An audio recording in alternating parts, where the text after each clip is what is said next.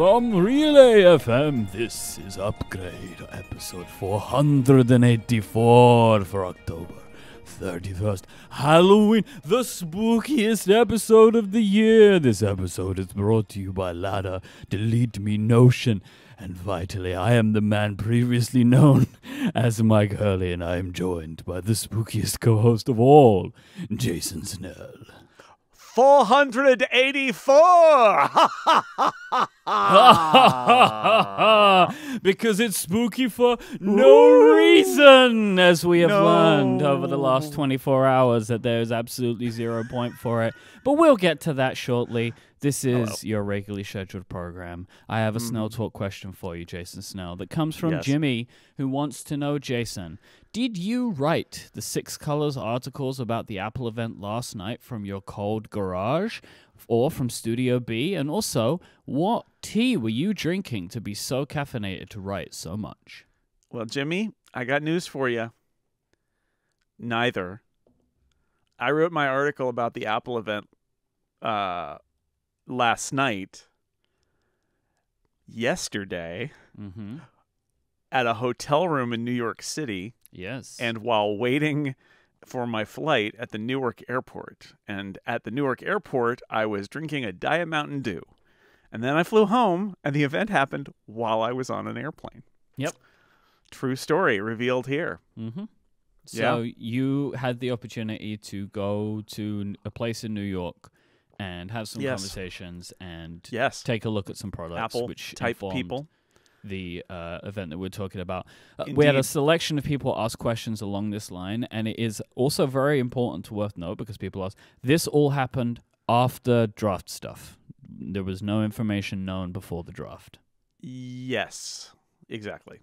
So there you go. So we will be talk. So when we talk about this stuff today, understand that Jason has a bit more information than your average because he's seen it. He's actually been there, and you've seen. You've actually seen, touched some I. I've actually used. tried to get my fingerprints on the thing that has the reduced fingerprints. So you essentially had like a hands-on area kind of kind of vibey thing, right? Is the, probably Uh, the best way well, to put it. it was a. I would say it's a briefing. I had a product briefing. Yeah, where we even better.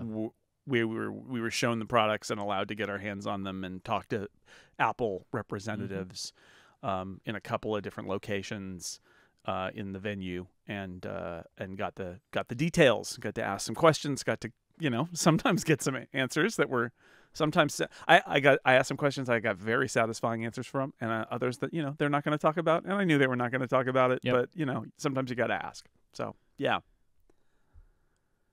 So this was actually uh, pretty big news. Oh, by the way, if you'd like to send in a Snell Talk question of your own, it's very simple. Just go to upgradefeedback.com and you can send one in to help us start a future episode. Thank you, easiest. Jimmy, for your question.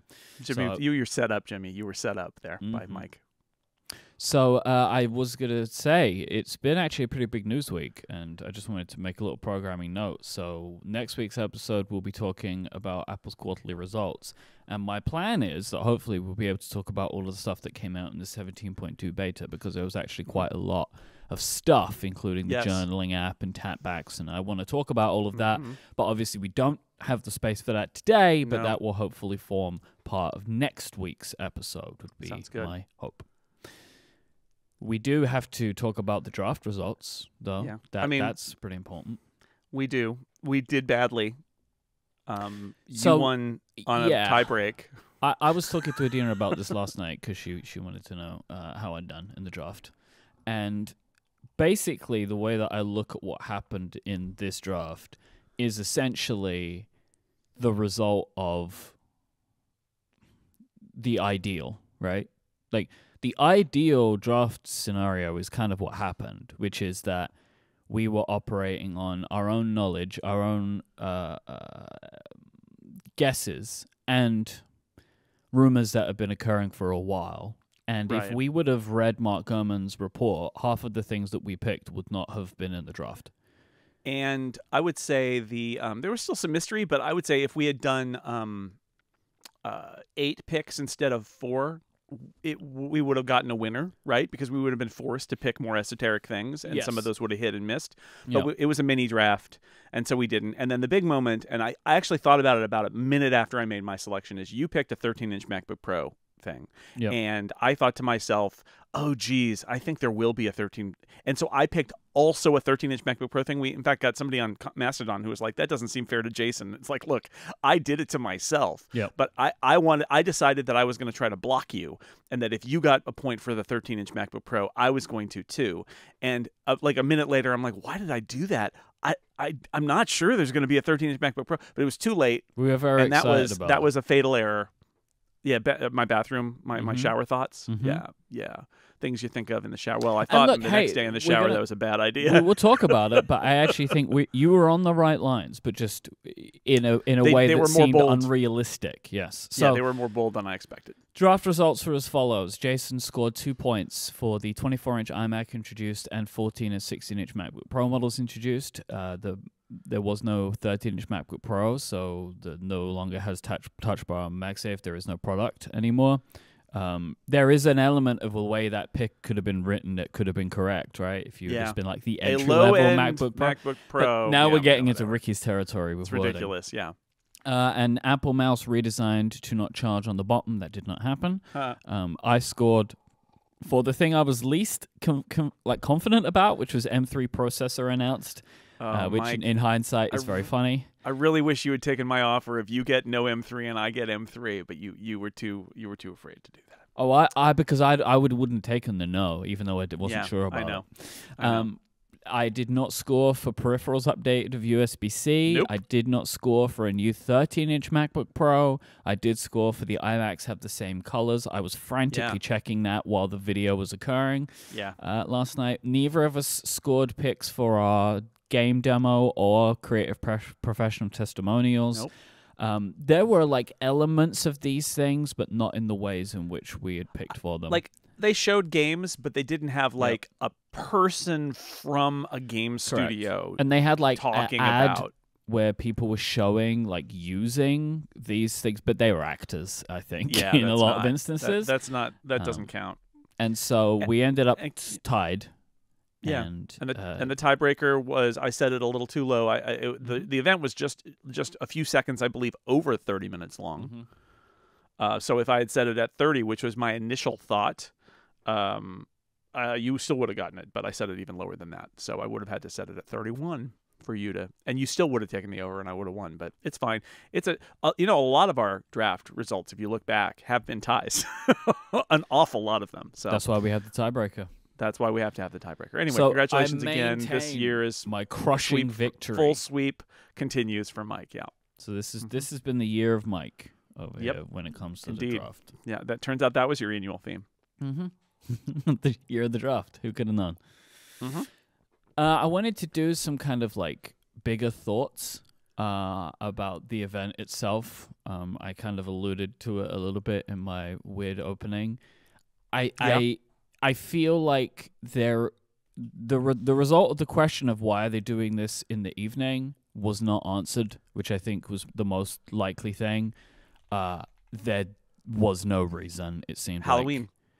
But even then, like th- they didn't need to do the Halloween theme because they kind of didn't really lean into it enough, in my opinion. Like Yeah. it was at night, there were bats, and Yeah. Johny Srouji said, "Welcome to my lab." Like outside Uh-huh. of that, it I feel like if you're gonna do this, do it. And I don't really feel like they did. I know that like when Tim was walking, there was a werewolf sound. I was like, "Oh, excellent!" And then it was just Tim Cook, and he was just Yeah. excited to say good evening, which he also didn't do in a voice. You know, it's just like if you're gonna do it, do it. Otherwise, don't ruin everybody's schedules. You know, I don't know. I don't know. I, I, I have I had thought that maybe we would understand it all in the cold light of day today. It didn't happen. No, it So, didn't happen. I mean, they. I think the answer is that they somebody sold them on Halloween theme, and they said okay, and then they put it into their regular content engine, and all the Halloweeniness got almost all of it got ironed back Uh, out. yes, that there were presenters, like every presenter had a costume, you know, and then they're like, Right. "No, I'm not wearing this. Nope. And then by the end of it, all we ended up with was it happens at night. And like the idea, like, you know, some people are saying in the Discord, pro stuff happens at night. But they do this for the iPhone too. Like the they just turn all the lights off, right? And they have Greg Joswiak stand outside at night. Um, it doesn't need to be at night, and so I just want to petition. I don't want that to happen again, but you That's know, my theory about fair Jaws. Is Jaws just works the night shift? he That's all. does. Someone He's has like, to. you know, Tim Tim signs out and Jaws signs in, and they they meet in the in the lobby of Caffè Macs, and Mhm. and uh, and Tim says evening Jaws, and Jaws says evening Tim, and then they pass, and then and then uh, Jaws is in charge at night. So for while the I night don't workers. Agree with the evening event. I do agree with this being an event. I was seeing a lot of people on Mastodon, especially, being like, "Oh, Yeah. what was the point of it?" Like this felt like something to me. The whole thing. We're going to talk about all of it, obviously, worthy of there being a video. I I don't understand people sometimes, Mike. I mean, I, I think the truth is that people have unreasonable expectations, and they and they they complain that uh, things aren't events. They complain that things are events. They complain that events are too long and boring and padding padded. They complain that events are too short and too packed with information and not long enough. People don't know what they want. I'll tell you this: Apple introduced its entire M3 chip architecture that's not a press release. That's it. That's all you need to know. They and, and if you're thinking about like the products, okay, MacBook Pro, super important product in certain product categories. But if you don't want to think about that, and the iMac is nice, sure, think of it this way: those products are the vessels used to launch M3, M3 Pro, M3 Max, and that's what this event was about. And that's super important to Apple. It sets the stage for the next year plus of the Mac which is also very important. Lets them brag, lets them boast about their three nanometer process. There's a lot of stuff going on here. That's why this event exists. Um, it's not it's not a hard one at all. Like I did I did at one point. I think I did I put this in my story. Uh, at one point, uh, the phrase came out that was uh, it's the M3 Pro with MacBook Pro. Yeah, that was in your conclusion. Yeah, you, you kind of and, like, mentioned that. it's not it's not quite right but yet it is kind of what this is right it's like this is actually it's the chips with a computer attached because that's again in the end they're launching products but what they're really doing is launching their whole mac uh, chip line and that's worth a that's worth an event bottom line there was I'm just absolutely going to double back on something I meant to mention a second ago, um, which uh, in regards to the gaming when we are talking about the draft. This is just a complete aside. Um, I was very surprised and kind of pleased with the fact that the game that they did choose to feature was Baldur's Gate 3, which is one of the like game of the year contenders this year Hmm. and it's just super surprising and maybe this is a- a sign of the times that a current game of the year contender is running on a Mac. Like I I've been playing it on my MacBook Air. Now it's nowhere near as good as when I play it on my gaming PC, but it runs and like it would run even better on these new M3 machines, obviously, especially on the bigger ones with the bigger graphics chips. And I I genuinely hope that this is the start of that. And also, as James is pointing out, it's not in the App Store. This is on Steam. So, like, the way you get Baldur's Gate 3 is you get, need to get Steam first. And so, I just thought that that was. It, where I'm always looking for these signs that Apple is paying attention to gaming. And the fact that they chose Baldur's Gate 3 and not Resident Evil again, as especially because Resident Evil came out yesterday on the iPhone, right? So, like, the fact that they chose to show Baldur's Gate, that is a good sign for me of like they're paying attention. So, just a random aside on gaming that I wanted to mention there in case we don't come up to, with it again. All right. But I agree with you. People, I think that the issue with this stuff is like the people that are complaining are probably not the same people all the time. So you just got the, each camp complaining. But I just think this was the right way to do it. They spent time talking about it. Press release wouldn't have given it the justice. Just go for it. Mhm. Last thing I wanted to mention, I spotted this at the end and then uh, didn't really think much of it, and then saw a lot of people talking about it. That the event was shot on an iPhone and edited on a Mac, and I found a couple of posts on Threads, one from Tyler Stallman and then a couple from Halide, where I'm assuming that Apple PR gave these creators and developers imagery that shows how they produced the, Ah, the yes. event, and it is awesome and hilarious to look at the the size of the equipment that these iPhones were put into, like these Yeah. huge camera arms and rigs and all this Yeah. lighting and stuff. It is it's very Mhm. funny, but I think that this is kind of incredible that they did it, even though they did it Right. to the like with all of the help that they had. The fact that they could shoot that event on an iPhone and you would not have noticed. It's pretty cool. Yeah, I think that's great. Though, and the point is, look, the point is not, hey, everybody, uh, you can just hold an iPhone. Like, of course, they're using professional everything, and of course, there's a lot of CGI going on here too. Uh, but the point is that they're using the image capturing itself is on the iPhone, and that is good enough to generate that output. That's Yep. the point. And uh, yeah, good for them. Also, one of the shots from the Halide uh, thing, which the, everybody sent to me in the Discord, apparently there was a video that now has disappeared where this stuff came from, which is really Ah. weird and interesting. Like it was on Apple's YouTube channel, but not anymore. I don't know why they did that. But there's a shot of like from behind Tim Cook showing the crew. There is so many people, so many people there. There must be like 50 people, 60 people, maybe more that you can kind of make out in the in like the I don't know what you'd call it, like watching Tim Cook do the thing. Like I guess this is from people from all over the place. Mhm. Kind of fascinating. Tim Cook I stand up. Yeah, well, I don't know if you've seen it because it's a it's a in sports in America, but there's the uh, Apple ad with the um, Olivia Rodrigo video that is shot on iPhone 15. Um, and it's the same thing with the same kind of rigs, and it's like Yes. it's I, I believe it's her real video, but the version of it that's in the Apple ad also shows them shooting it using uh, these similar kind of rigs in an iPhone 15. And this is clearly part of their marketing message is, you know, the iPhone 15 again, yeah, you can use it to shoot a music video or a, an Apple thing, but the point is that even like this level of professional video, you can't tell that it was shot on an iPhone because the iPhone video is that good at this point. That that's the point. I hope that this this little behind the scenes video pops up uh, again because I I would like to see more about it. I just think it's kind of cool that they did that. This episode is brought to you by Ladder. Let's be real, we all have a tendency to put things off until the last minute.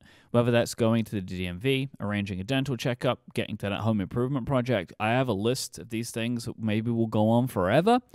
Most of the time, it works out to just delay this stuff. But the one thing in life that you cannot afford to wait on is setting up term coverage life insurance. And there's a bunch of reasons why this is important. You've probably seen life insurance commercials and thought to yourself, I'll look into that later on. But this isn't something you should wait on. Choose life insurance through Ladder today. Listen to me as I say this to you. Stop waiting around. Ladder is 100% digital, no doctors, no needles, no paperwork when you apply for $3 million in coverage or less. You just answer a few questions about your health in an easy to use application. Ladder's customers rate them 4.8 out of 5 stars on Trustpilot, and they made Forbes' best life insurance list in 2021. All you'll need is a few minutes and a phone or laptop to apply. Ladder has smart algorithms that work in real time to find out if you're instantly approved. There are no hidden fees, you can cancel at any time, and you'll get a full refund if you change your mind in the first 30 days. Ladder policies are issued by insurers with long, proven histories of claims, paying claims. They're rated A and A plus by AM Best. And since life insurance costs more as you age, now's the time to cross it off your list. This is the important part. Every day you're getting older, and every day it will get more expensive. So go to ladderlife.com slash upgrade today to see if you're instantly approved. That is L-A-D-D-E-R life.com slash upgrade. One last time, ladderlife.com slash upgrade. Our thanks to Ladder for their support of this show and Relay FM. So let's start by talking about the M3 family of chips. Uh, Apple will use the word family a lot in the press releases and stuff like that. So I think that's like a good way to talk about them. Sure. Um, the majority of the family introduced at once. I guess all that is left would be the Ultra chip, right? As which w- is probably just two Maxes connected. So Yeah. fundamentally, not really a new chip, just a new, I don't know, coll- collection of a pair of chips. but it's two. It's going to be two existing M3 Maxes almost certainly. Uh, do you have any kind of feeling about why you think they chose to do it this way? Here's the whole thing. Here's all the M3. Uh, it's a good question. I think that from a from a marketing standpoint, I think it's actually stronger to go out with your whole line than to go out with your weakest product, right? Like we've reached the point now where you can impress. Like the M1 impressed us, but you know the Pro and the Max are where you really see them at their best. and at this point you come out with the M3 and we're all going to be like okay what's the Pro and Max but I think that so I think there's a marketing argument here but I think the truth is they were all ready at the same time I think the truth is they were all going into production on this new 3 nanometer process and are all available now and so they're going to launch them now I, I, I do think it comes down to that that they're ready yeah. now and so they're going to launch them now and and seriously like I'm I'm sure that they're deciding what products they go in based on the volumes that they can manage. I think that the reason that it's a, it's an iMac and a low end MacBook Pro and not a MacBook Air is that the MacBook Air sells a lot of volume. Although the low end MacBook Pro maybe too, but the way they've done it, and we'll get to that, may will move the volume around and won't be like the old 13 inch MacBook Pro, which mm-hmm. was their second best selling computer. So um, I, I think they chose these vessels uh, carefully in a way. Like the iMac, it was it had gone a long time before since an update, so why not? And then on the MacBook Pro side, clearly their strategy is to use all three. This is the first time that um, Apple has sold what we will call one computer that comes in different configurations using all three of the Apple Silicon chips. Yeah. No computer has had that before. Interesting. Uh, but to do that and have that strategy, you, you kind of need to have all of them come out at once.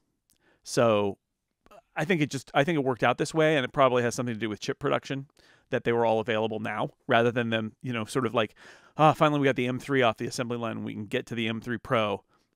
I don't think that was how it worked this time. Yeah.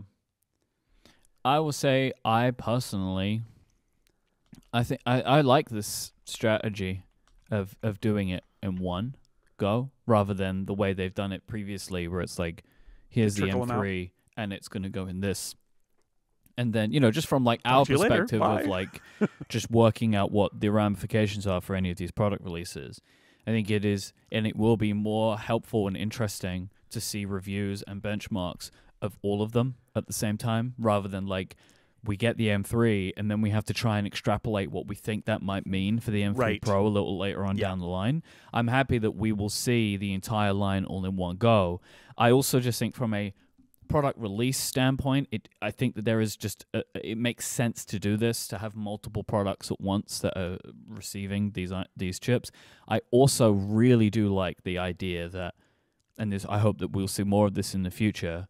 Way more flexibility for what chip can go inside of a machine, right? Like that 14 inch MacBook Pro uh-huh. is very versatile. It's the most versatile machine that Apple has shipped under Apple Silicon, right? That like Indeed. it can house all three, which uh, when it comes down to it are vastly different from each other from a power perspective.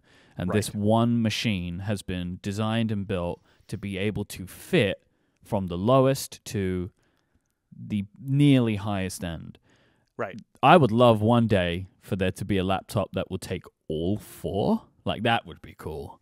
Right? They do a MacBook Pro that could take an Ultra, but I don't know if they would ever do that. Maybe but that not. would just be kind of fun. do you think that this is likely to occur again in the future? That they would do it this way? I mean, I do hope so, but do do you think it's possible? Yeah, I, I think it's going to come down to production and details of production. But I think yeah. that this is the way I think they would prefer to do it: is do an unveiling of the new chip family and and we'll just have to see how it that tells goes. a better right? story, because I think. From, it does, but uh, but again, if you're in a situation where you have the M4 and the M4 Pro and the M4 Max are not going to be ready, it, they're not going to. I think they're not going to stop and not introduce an M4 Mac, right? Like yeah. I, I think that they will still do it, but I, I, I this feels like a a better approach because it lets them tell the whole story at once. So these are three nanometer chips.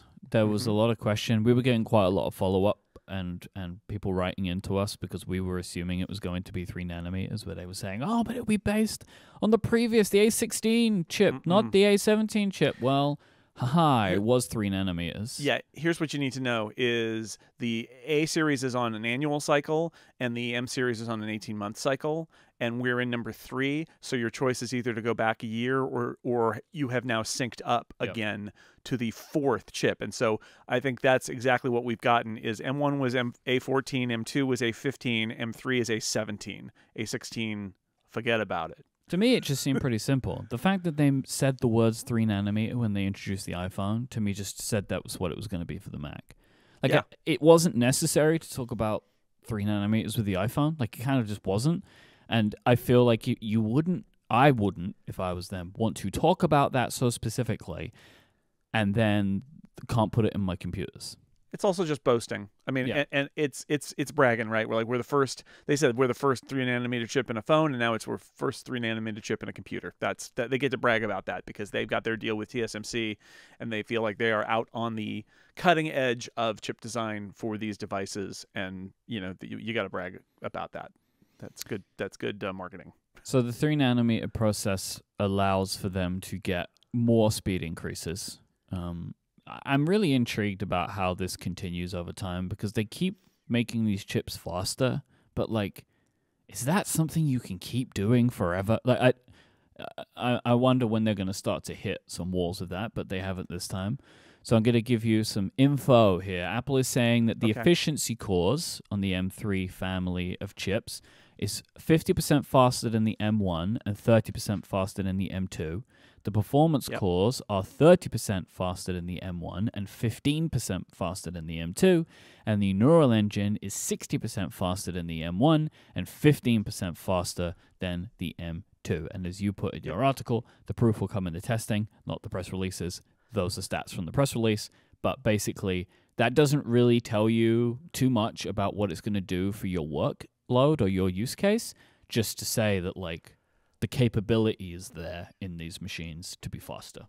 Right. I think a 15% increment over generation is pretty reasonable, and that Yep. seems to be what they've gone here. This is, um, and they're comparing it to M1, which adds some confusion, but at the same time, because it's like, right, as somebody chronicling sort of like what uh, change in the Apple chips, you want to detail it based on, um, like the last generation. But the truth is that in terms of upgrades, people are coming more likely coming from M1 and Intel Yep. and um and so you want to do those comparisons but it also makes bigger numbers which makes apple feel better whereas we are all kind of focused on m2 just because that tells a different not not for the purpose of upgraders of products but for the purpose of kind of telling the story of Mhm. how this chip family progresses over the previous one. So we'll we'll have to see. Remember these are things- all up to whatever percent faster. And what is that you know up to means it's from what zero or slower to faster? Like Yep. it and it will entirely depend on um, seeing these in in you know real context and not in apple's. Apple's I, i've said this before i'll say it again. Uh, apple's performance marketing is based on real numbers. In fact the performance marketing is people i know who used to work in macworld. Um, are, they're in that group. Like they're real numbers but it is marketing and so they're going to pick the good numbers Mhm. but they're not fake numbers they're real numbers. It's just that you know you're you're taking their word for it and and they're selling you something so you can't take their word for it. We have to check. And Yeah, so we will. We'll get the you know as a community of testing uh, people te- we'll get the numbers. I think from a presentation perspective i agree that it is best for apple to talk about the m1 and intel. Like i don't think Sure. it is that helpful for them when marketing the product is to compare it to last year for the mac. Because yeah I, i'd say it's when you're talking about chips i care more about last year. When you're talking about products we do. Right. Well, yeah, but I'm saying any. I- I'm saying regular consumers don't care about chips, right? When you're marketing a product, your product claims compared Sure. to older models is a stronger argument. sure But when you're just talking about the chips, I, I I don't accept the argument that like, well, regular people, because regular people don't care about the chips. No, Right, I mean, and it's good that we get them. Um, that. If they give us information, we get the information. But I, I think that from a marketing perspective, it would be confusing if they gave two different sets of speed increases during the same presentation, right? Like, if they want to compare the MacBook Pro to the M1 MacBook Pro, that's going to be one set of statistics. And if they compare the M3 to the M2, it's another set of statistics. And I think it's a little bit much. But they give us the information for as much as they're going to give it, right? Like, we have the numbers, but now it's about actually putting them to the test. Sure. And what they've chosen to do with the chips is put them in the context of M1 and M2. So it's the mm-hmm. march of Apple Silicon progression. In the individual product areas, they talk about Intel. Yeah. Because there you've got a, you've got a bunch of upgraders coming from Intel, and so the Intel numbers are relevant there. They didn't do that in the chip area because that's not the story they're telling. They're really just telling about the Apple Silicon chips getting faster. They leave the the Intel comparisons to the individual product categories. So the GPU also got a bunch of time. Um, they've put more features into Apple's graphics processing pipeline. So they now have hardware accelerated mesh and ray shade. Uh, ray tracing, so mesh shading Yes. and ray tracing, um, right, both of which are in the iPhone Pro Yep. uh, so we chip expected too. it here. This Yeah. is like an expectation that they were going to do this, but they also introduced something called dynamic caching. Uh, Mhm. my simplified way of explaining this is it's all about how memory is being allocated to the GPU from the system. Do yeah, you? you're simplifying something that I simplified from Yeah. somebody who's very smart who told me about this that I'm not supposed to talk about because it's all on background. But Okay. somebody very smart who might work at Apple uh, explained to me a little bit more about this. Anyway, so let me try to explain it again. please. Uh, dynamic caching is let, let, us be honest here. Dynamic caching is a marketing term that Apple has come up with to try and get explain why they're getting more GPU bandwidth uh, than just what you'd expect from the the the chip speed improvements themselves.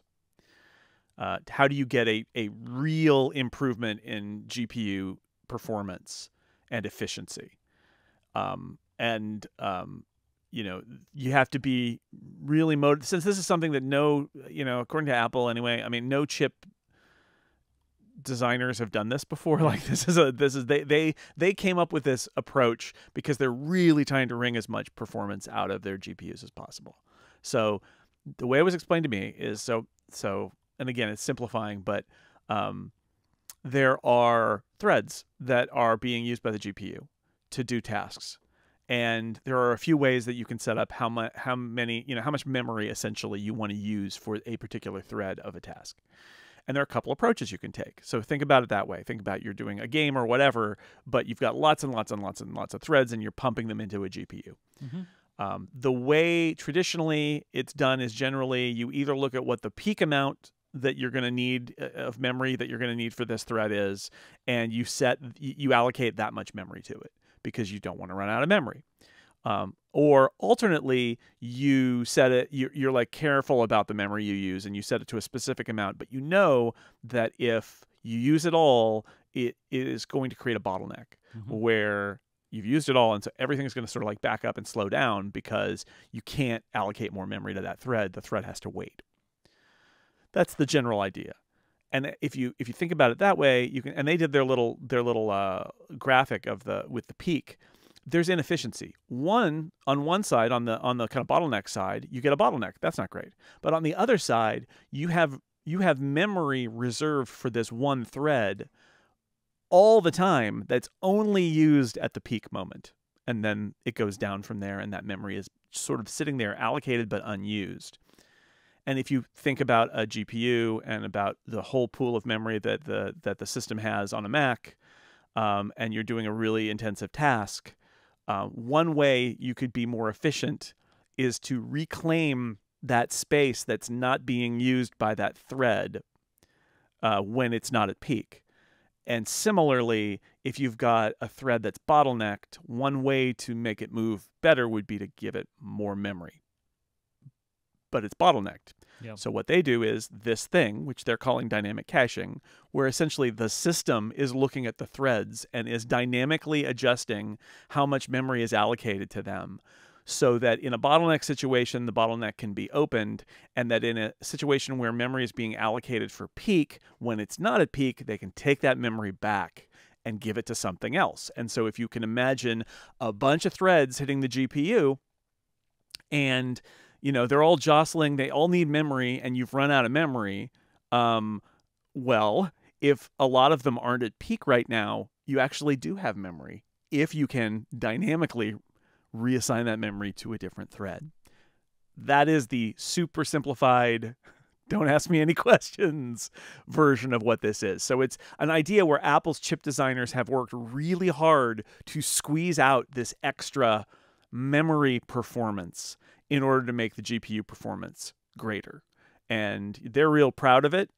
and again, the impression I got is you wouldn't do this and you unless you were extremely motivated to increase the efficiency of your GPU. And Apple is extremely motivated to do so. So it's an interesting idea. So with all of that, the base uh, chip still just supports one monitor. Yeah. no, I don't know. if These things are related, but it is. I know Yeah. it's something that a lot of people uh, find. no. I mean, they're they're not related at all. I, I, let me let me close the loop on the GPU thing and Yeah. just say that the um the, the the the big point here is that this is not an API. This is all like at the system level.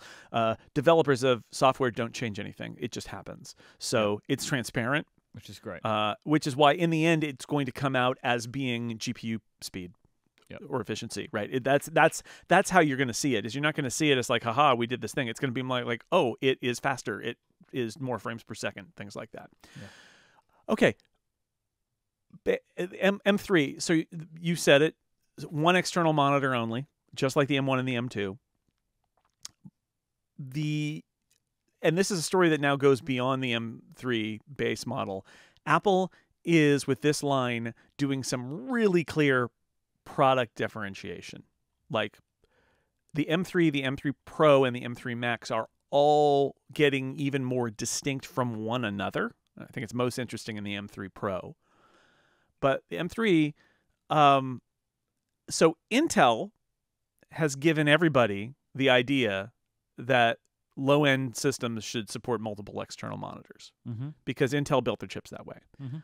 Now, Intel built their chips that way probably because they wanted them to be sold to as many different companies for building into products as possible. And so they wanted the flexibility there. Apple has decided, and it is a decision, Apple has decided that their low end chips don't, in order to save basically on the on, on money but also to differentiate them from the other chips that it's going to have limited capabilities for video and it's essentially only going to be able to do two streams of video which means that on a mac mini you can run two displays but on an imac and presumably a macbook air you can only run one external display because they've got an internal display that is wired in. Um, they it's a decision that they made. Mhm. um, I, I definitely so here's here's the hard thing I think they should support two ex- external displays on on an M3. I think they should, but they don't. I think they should, at the very least, they should engineer it so that if you're on a laptop in lid closed, Yeah, it can run it two external displays, That- right? Like I, work I get Yeah. I get not three, right? Not the idea that you have your laptop display and two external displays. But when the laptop screen is off or the lid is closed, it sure would be nice if they had built that in. And they didn't again. So if you're a Mac if you want a MacBook Air but you want to run two external displays, you can't do it. And I feel for you, but at the same time I understand what Apple is doing here. Apple is doing market segmentation. Apple is saying if you are a sophisticated enough user to require two external displays attached to your laptop, you should buy a Pro chip. Yep. That's it. That's what they're saying. Like, we're not going to make it easy for you to buy a thousand dollar laptop and have two external displays because you are a sophisticated enough user that you should be giving us more money. That's what they're saying. I again, I don't I don't hate that. I understand it. That's business. What I hate is that they've made it so that even if the laptop is closed, it can't drive two. That seems silly. Um, and it's even sillier on the new, which we'll get to in a little bit, the new 14-inch MacBook Pro base model, which still has like an HDMI port on it, but can still only drive one external display, not two. It's a little. It's just. It's a little bit silly. I wish. I wish they had done this maybe next time, but I, I, I wouldn't hold out too much hope because I feel like what Apple's doing here is. And we can say artificially, but like it's business. This is it. Apple has decided to segment their products in this way. And I know that Intel is doing something different. Um, but until Apple feels like, oh no, we're losing MacBook Air MacBook Air sales to Intel or Qualcomm based uh, laptops uh, because so many people want to do two external displays, that's never going to happen. I think they'll just keep doing it. I- mean, this is one of the things where I think it would be nice if they did it for the people that want it, but I do agree with like I feel like this is pretty niche uh, for Well, people yeah. that that want this particular computer. Like So if you Exactly. do want to do this that badly, there are many computers that you can buy or can be provided that will do it. And if it's that important for your work and your work is not providing it, then they need to change what they're providing you. You know what? I, like I feel like Like, yes. why can't a MacBook Pro drive 15 displays? Like why I not? feel right? I feel for somebody who just wants a MacBook Air but also has, you know, wants to run three displays. Yep. But like uh, David in our chat just said it's a serious choice of apples at this point. Three displays is pro feature and then a a, a smiley that's not smiling. And I think the implication that David is making there is, come on, Apple. I would say if you're running three displays, you're a pro user. Yes. Three displays is an uncommon 100% a pro feature. very, very, very uncommon use case. Yes. And I know it's your use case, so 100% of you personally and are you may using it that way. 100% not want to buy the pro machine, but, this is kind of just the way it rolls. But look, if if Apple knew that MacBook Airs were not being sold because everybody wants to hook them up to two external displays, they would have changed it. But Yeah. it's just not true. Yeah. It's just not true. And it and it is like saying, well, I want more ports. I want the newest Thunderbolt. I want the uh, Uh, they're artificially withholding the HDR, that XDR screen from the MacBook Air. It's like they're not artificially withholding it. It costs a lot of money. That, that MacBook Air has a very specific price point, and you, if you want the nicer thing, you got to pay more money for it. That's business. So there's a there's a business decision going on here. I, I think it's amplified by the fact that Intel made everybody believe that that was a table stakes feature. And so it was in Apple's laptops when they were on Intel. Apple clearly doesn't think it is and is saving. I, I will also say this Apple is saving money in the design of the low end chip by not having it be capable of more external displays. It's mm-hmm. saving money. It is cutting corners there because that is, and I know it's not fun to hear this, the budget chip. That's what it is. It's a budget chip. I know it's Apple, so budget is bigger than it would be for other computer makers, but still, it is their low end model and it's differentiated in that way. Like I said, I still think they should, at the very least, support two displays in in lid closed mode. I don't think that's uh, too weird. I think in lid closed I understand it. for sure. Like I agree with that. I think that that just makes logical sense to me. That because it's like complicated because people in the Discord now are saying like, oh, I think this chip does this, this chip does that. No, it's actually very complicated. Like M3 supports one external display. That means two total displays. M3 Pro is two external displays in some resolutions and one external display in other resolutions, but that can mean a total of three total displays. The Mhm. M3 Max can support four external displays, and then again, a bunch of different caveats for if different resolutions would be different amounts, but that means the M3 Max can support a total of five displays because you include the internal display because you can have the laptop open. Very confusing, but would be better if that M3 could do two always. Right, look, they always could be open or closed, all of them, right? And that either grants you the ability to use it open or to use it closed and have a display take its place. That would be good if they did Yeah. that. So I, I get people saying, "Well, but I wish that the thing that I bought for less did more." I get it, but uh, and, and and like I, I I totally do get it, but I you know the fact is that also I have to say this is Apple segmenting their their market, and and and there's you know talk in our our Discord now about like. Oh, in corporate life, two mediocre displays is a very common thing, and it's Mhm. like, okay, two me- two mediocre displays hooked up to a Mac is a very common thing. Well, if that's true, I think in corporate life, I think what Apple would probably say is, "Hey, corporation, if that's your setup, you need to you need to give us more money. If that's if that's the way Yeah. you're doing it, give us more money, right? Because in the end, that's what they're saying is is what people are saying is, I wish they made this thing more capable than it is. And like, I get your I get your wish, but I'm also trying to understand what Apple's doing here, which is saying, no, pay us. Right, that's that's they look. We talk about like rounding up and then going up higher with Apple stuff. Like Apple makes a lot of money and it has huge profit margins, and this is one of the reasons why is they are not gonna they're gonna differentiate their products, and the cheapest product is not going to be the most capable. It's just not. I want to run through some some stats, Yes. some statistics for Okay. you, if you don't mind, about the different chips. All right, so the M3 still has an 8 core CPU, which is the same as the M2. It has 4 performance, 4 efficiency. This is the same. Maximum of 10 GPU cores and a maximum of 24 gigabytes of RAM. The M3 Pro still has a 12 core CPU, but it is now 6 performance, 6 efficiency, shifting from 8 and 4 on the M2 Right. has a maximum of 18 GPU cores, which is down one, One. and, um, yeah. and a maximum of 36 gigabytes of RAM, up from 32 gigabytes of RAM. And I've been seeing a lot of people, very upset about that number 36 that it doesn't make sense to them, which is interesting. The M3 Max has a 16 core CPU that is 12 performance, 4 efficiency, up from 8 and 4. The maximum GPU spec is 40 cores, up from 38. The maximum RAM is 128 gigabytes, up from 96 gigabytes. Mm-hmm. Mm-hmm. It's a bunch of numbers. thank you for the numbers. No problem. It's, uh, more effective in a chart, but this is a podcast, and so you get a, vi- Can't do verbal charts. chart. It's a it's a Word it's a charts. verbal it's a verbal chart. You got to draw Yeah, it in your is. brain.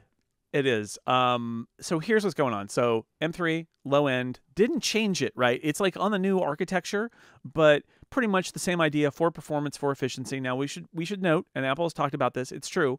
Apple's efficiency cores are pretty fast, right? Like the idea here is that is that you're doing your day to day life. You may never even need the performance cores until you really tax your computer. And the efficiency cores are super power efficient, so they're the ones that give you the great battery life. Um, but it, it's a very familiar setup. It's pretty much the M2. Like we talked about the displays and all of that, right? Like they made the decision to really not do a lot to the base model. They're kind of keeping it where it is, just on this new, you know, three nanometer process, and it's the new cores and it's the new neural engine, and it's faster in all those ways, right? That according to Apple, but it's not a rethink of what uh, an M3 should be. It's it, it it is what we know. The Max is to go jump up to the Max. The Max is really interesting because they are putting their, I would say, foot to the floor on the high end. They're like, no, no, no, here we go. Eight efficiency, eight performance cores. How about 12? That's what they did. They, the same number of efficiencies, four, but they went from eight to 12. So huge CPU boost there. This is why it's going to be so much faster than an M1 Max, right? Like it is my poor little M1 Max in my Mac Studio. Um, they increased the GPU cores a little bit. They increased the max RAM, which is going to make a lot of people happy to go 128. They they did a bunch of stuff, and as we know, the GPU cores are also they should all be a lot faster, and so that's going to be a big boost. Now, also keep in mind that's the maximum of the pro of the of the Max chip. Uh, you have to pay a lot of money to get up there. There are going to be other configurations with fewer cores on GPU and CPU. That's how, and, and of course, you know you have to pay a lot of money for that much RAM. That's Apple, but uh, the the edges of of high performance are there and they're further out than they used to be especially those 12 performance cores that's going to be like a cpu monster. Okay. This leaves us with the pro chip. And i think and I- knew uh we've learned a little bit more since my briefing because my briefing you know i get what apple gives me but i don't get anything else. I don't have the website. I'm not digging through all the details. I have the press release and i have what they told me um, but even with that, I started to have an inkling while I was talking to them that something's going on with the M3 Pro. Like the M3 Pro used to feel like a ba- like a baby brother of the M3 or the M2 Pro and the M1 Pro felt like they were like lesser maxes, right? And this doesn't. This is this feels like it is detached entirely from the Max and is drifting toward the M3 in the sense that I think Apple is doing some more, they're more confident with Apple Silicon, they're doing more chip differentiation. And the M3 Max and the way they position it in their marketing and you if you pay attention to that event, you saw it. It's like the M3 Max is for the highest, most demanding professional user. And they, they're coming up with like new ways of describing the kind of work that goes into it and medical imaging and all this stuff. And they're, they're like, when when you speak hear Apple speak in the context of the M3 Max, they are talking about the most demanding users. I think they're doing that for a reason, which is that they have put their foot to the floor in terms of performance, but that's going to be a really expensive chip. And they anticipate that most people are going to use the Pro chip or or the base chip, but like those are the ones that are going to get used is the Pro and the and the base chip, not the Max. And so what have they done with the Pro? It feels to me like what they've done with the Pro is make it more affordable or more profitable or some combination thereof. It feels like it's not it, you know the foot is not on the floor with the Pro. The Pro is sort of like it's not even hanging where it was. It's sort of like s- mm-hmm. drifting back a little bit away from the Max toward the M3. And the best example of this is it only has six performance cores instead of eight. Which means that although I'm sure it will be faster than the M2 Pro, going down two trading two performance cores for two efficiency cores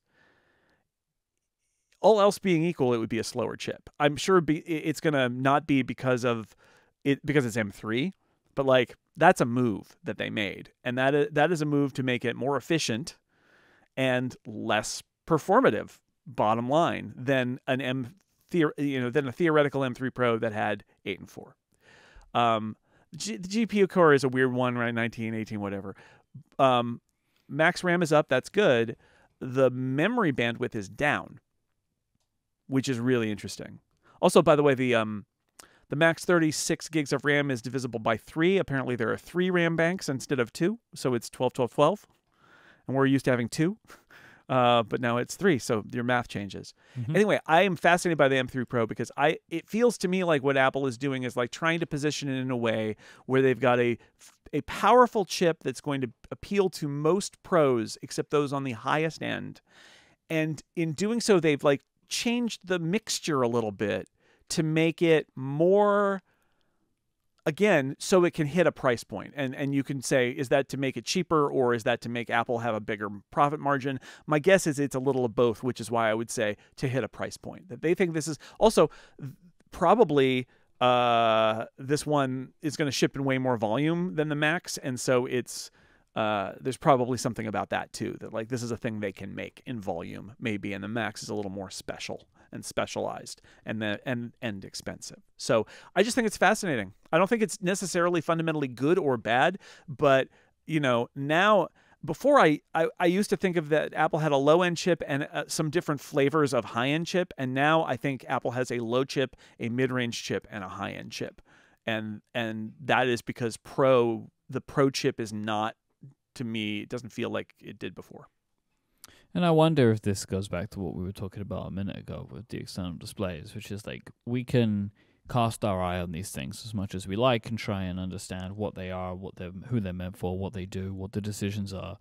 Apple does have way more data and information than we could ever yes. imagine. Yes, they know. And this may be that like we want to create the chip that most people buying this product maybe right. are going to buy and we think that it should be more balanced. That like they're like most yeah. people are doing most of their work on the MacBook Pro, which I reckon is the case on the Pro chips, right? Like you were saying, they are yes. using the efficiency cores for like ninety percent of their work. So let's have more of those yeah. or, to or more when evenly or when balance the load. Right. Or when they're peaking, you know, they're not. They're not. I, I would. They're I, not, they don't need I eight. Come, I would come at this as also as a different level, which is they know what people are buying. Yeah. And they look at this and they think, okay, think of it this way. Let's say, and I'm just making this up, but let's say that the M2 Pro chip costs um 10 quatloos and the M2 Max chip costs 15 quatloos to manufacture. Mm-hmm. And they look at it and they say, "Oh my god, everybody buys the M2 Pro chip." But we have these customers who desperately want maximum performance, and we have to have a high end chip for them. And it's the basis of the Ultra, which is in our Mac Pro. And we have to have the high end chip for them. So we can't skimp on our high end chip. But most people don't want the high end chip, they want this Pro. And then you end up with a decision that looks like is what they made here, which is okay, here's what we're going to do. The M3 Max is going to cost 20 quatloos. And the M3 Pro, we're going to keep it 10 or we're going to make it 8 or 7. And then we're going to we're going to keep our prices the same and we're going to make more money on those. But whatever it is, uh, sorry, it's Quatloos, it's a Star Trek thing. Anyway, I, I will um, say, you know how you we were we were kind of poking fun at me earlier for the amount of numbers that I said? Yeah. You made that so much more complicated for me I just by did- not using the- by instead Okay. of just saying dollars. Well, but it doesn't ten dollars. It doesn't. Yeah, but $10. It also isn't ten dollars it would quatloos. Jason. I can confirm It is. to You don't know the well. quatloo to dollar exchange rate, Mike. Uh-huh. Fight me. Yeah, but okay. just so okay. so this is my this is my point is Apple's in a position where I think they analyzed the sales of the of their products in the in the early in these days of Apple Silicon and said, uh, this is what we need to do. We need to take the Max chip and make it continue to make it super awesome. And it's going to be expensive, but the people who want it are going to pay for it. Yep. But this Pro chip mm, right? Like it's very popular, but they don't really need all the stuff that's in the Max. So we gotta let's back it off a little bit because that will allow us to either hold the ch- the prices the same Yep. or you know or whatever eh, maintain our margins make more of them whatever it is. And that seems to be what's going on here. I just think it's really interesting because like i said my impression of the first couple generations was more that the pro was just sort of a lesser max and that is not what's happening now. Like the pro is is is a mid-range chip that i think is powerful enough for most pros to be very happy with it and the max is becoming um like you got to be the most like they said the most demanding users will pay up and get the max.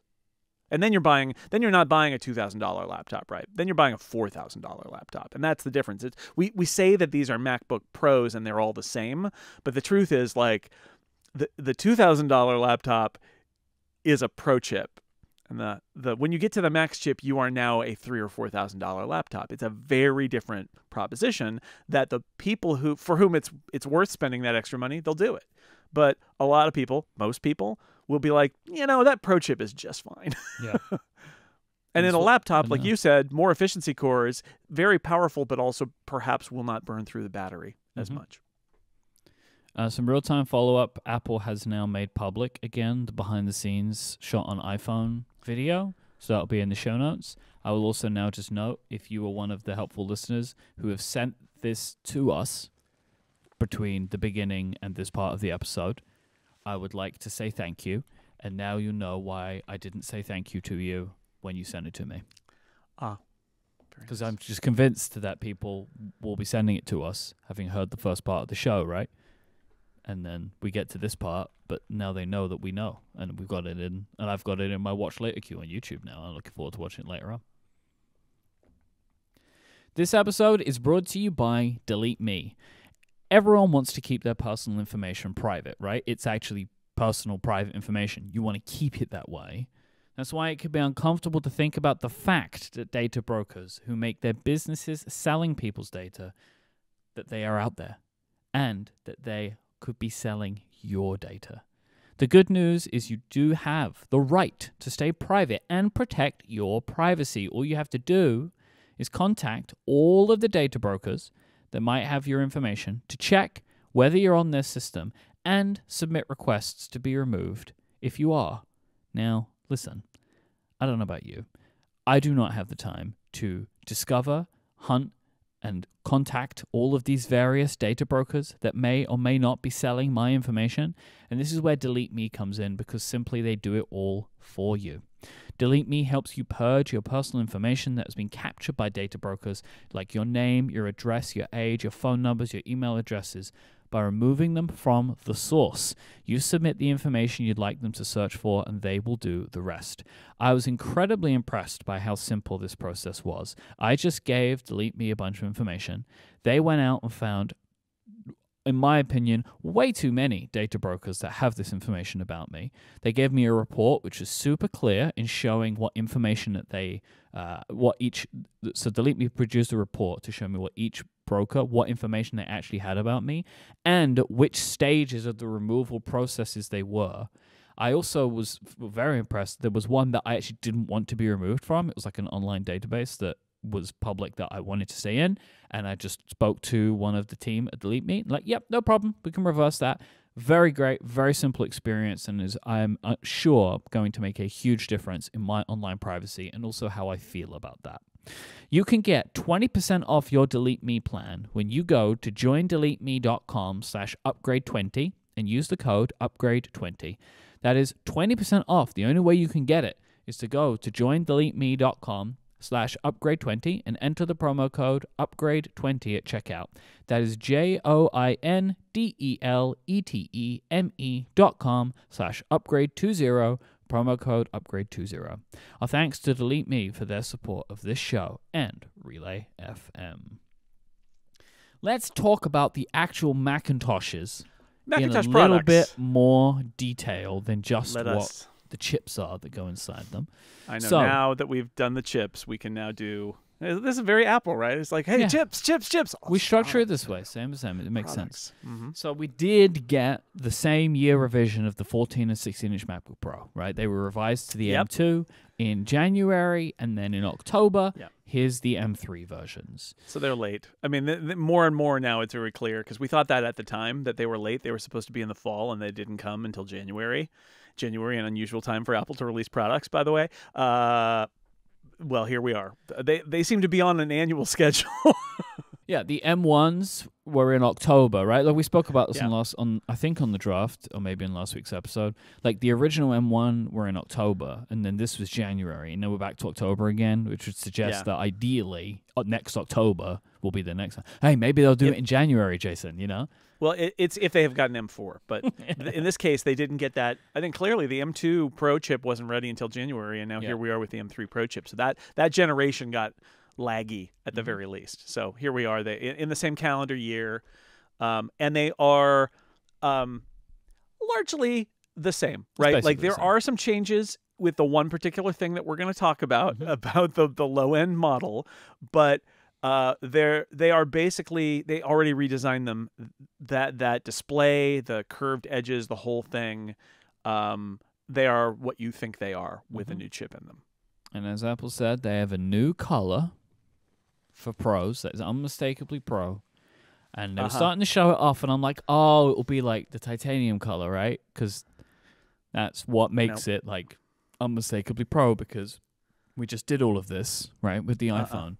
No, it's space black. Space black. Space black. A quote from Jason Snell, sixcolors.com.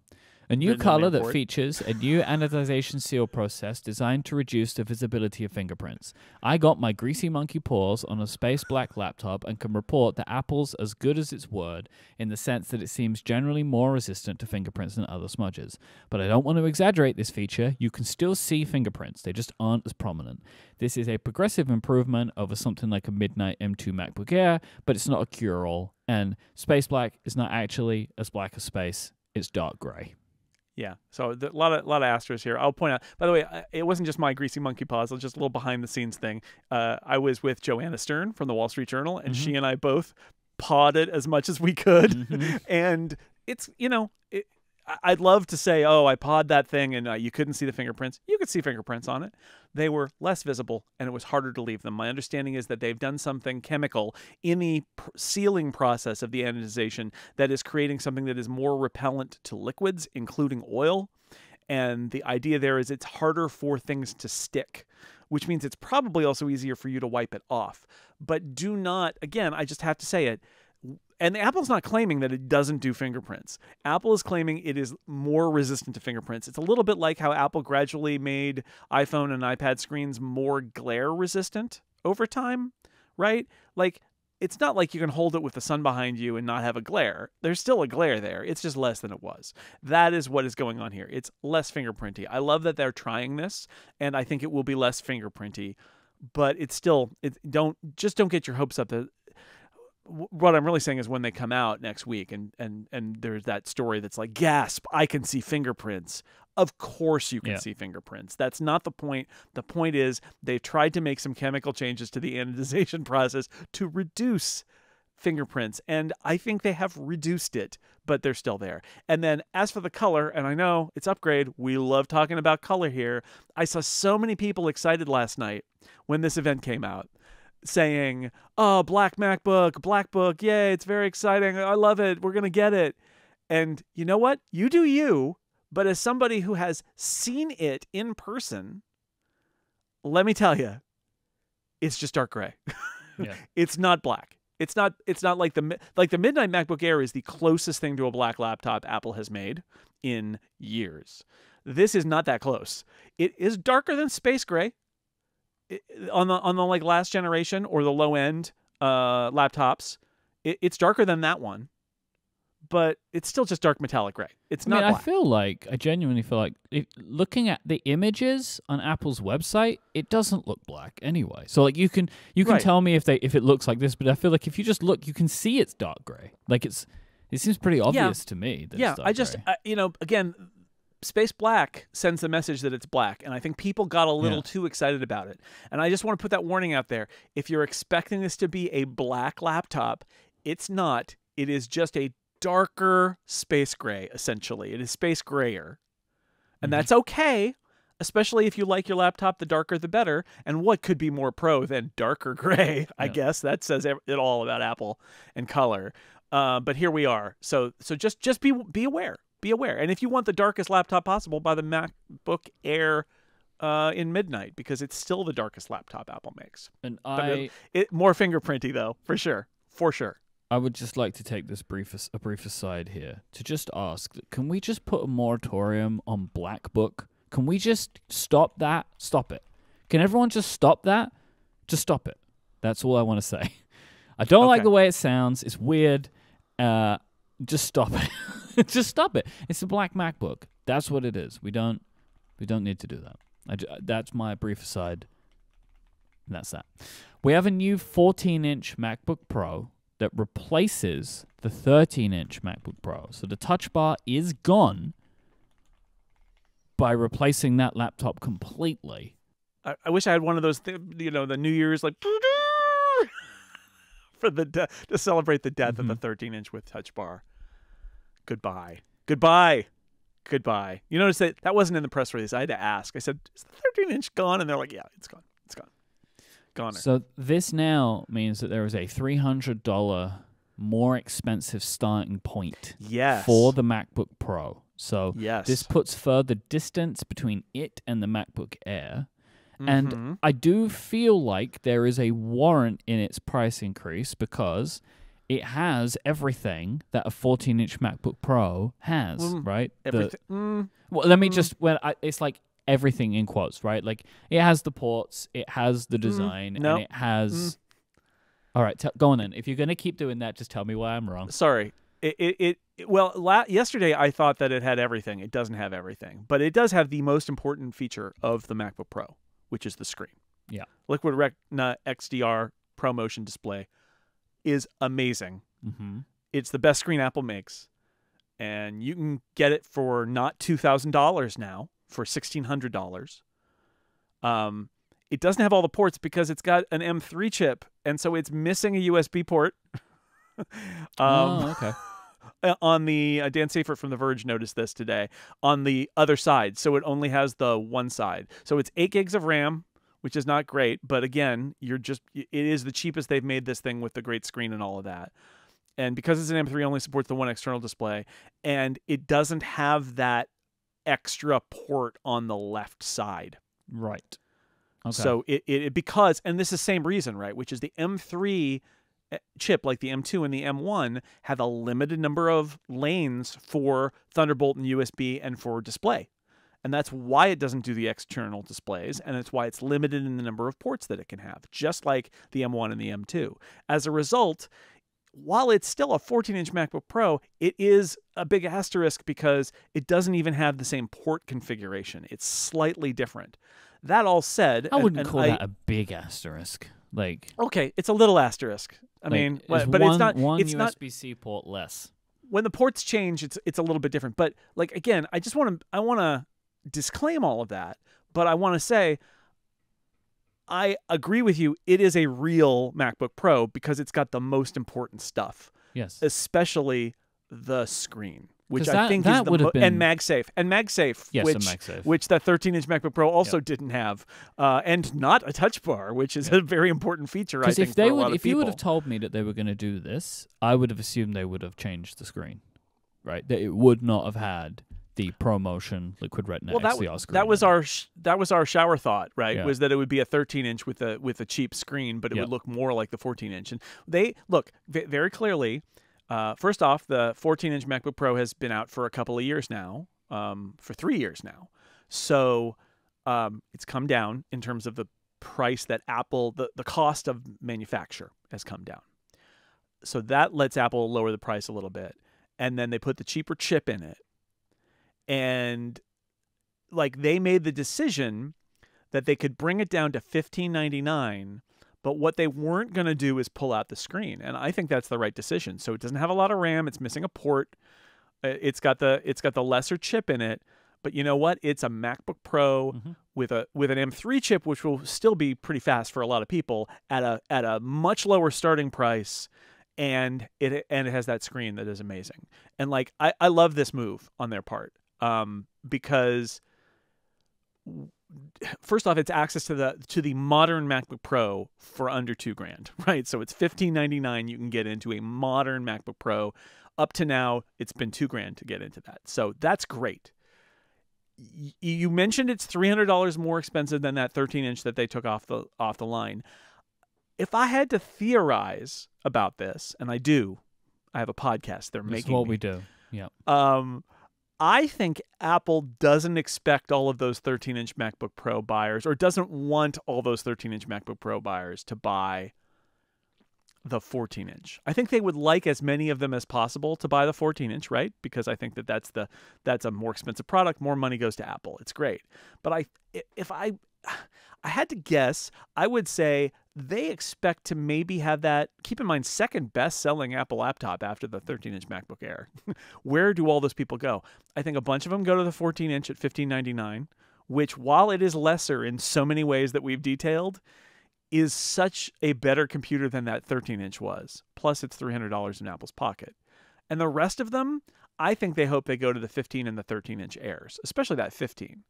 And if they can sell some people on like, no, no, no, no, no, no, no, you just get the MacBook Air, I think they would be very happy with that because I think the truth is that most of the people who are buying that 13 inch MacBook Pro would have been much better off with a MacBook Air.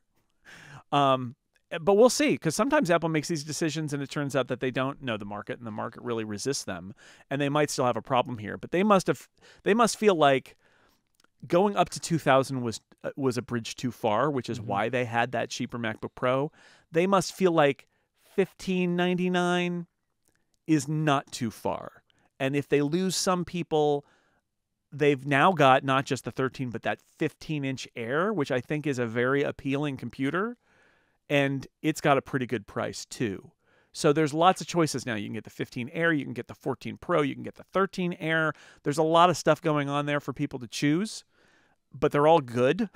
Yeah. and we'll just see we'll have to see how it works so even though this is very limited and i think there are a lot of nerds and who are like macbook pro snobs who are going to be like this is not it's like yeah i know i know it's not a macbook pro in certain ways but the old one wasn't either this one's macbook pro in way more ways than the old one was while still being under $2000 so i think it's a great move on their part even though it does mean that there's basically a a decontented 14 inch MacBook Pro that's available. Don't worry, uh, MacBook Pro snobs, they still make all of your computers too. Yep. They're all still available up for, for $2,000 and more.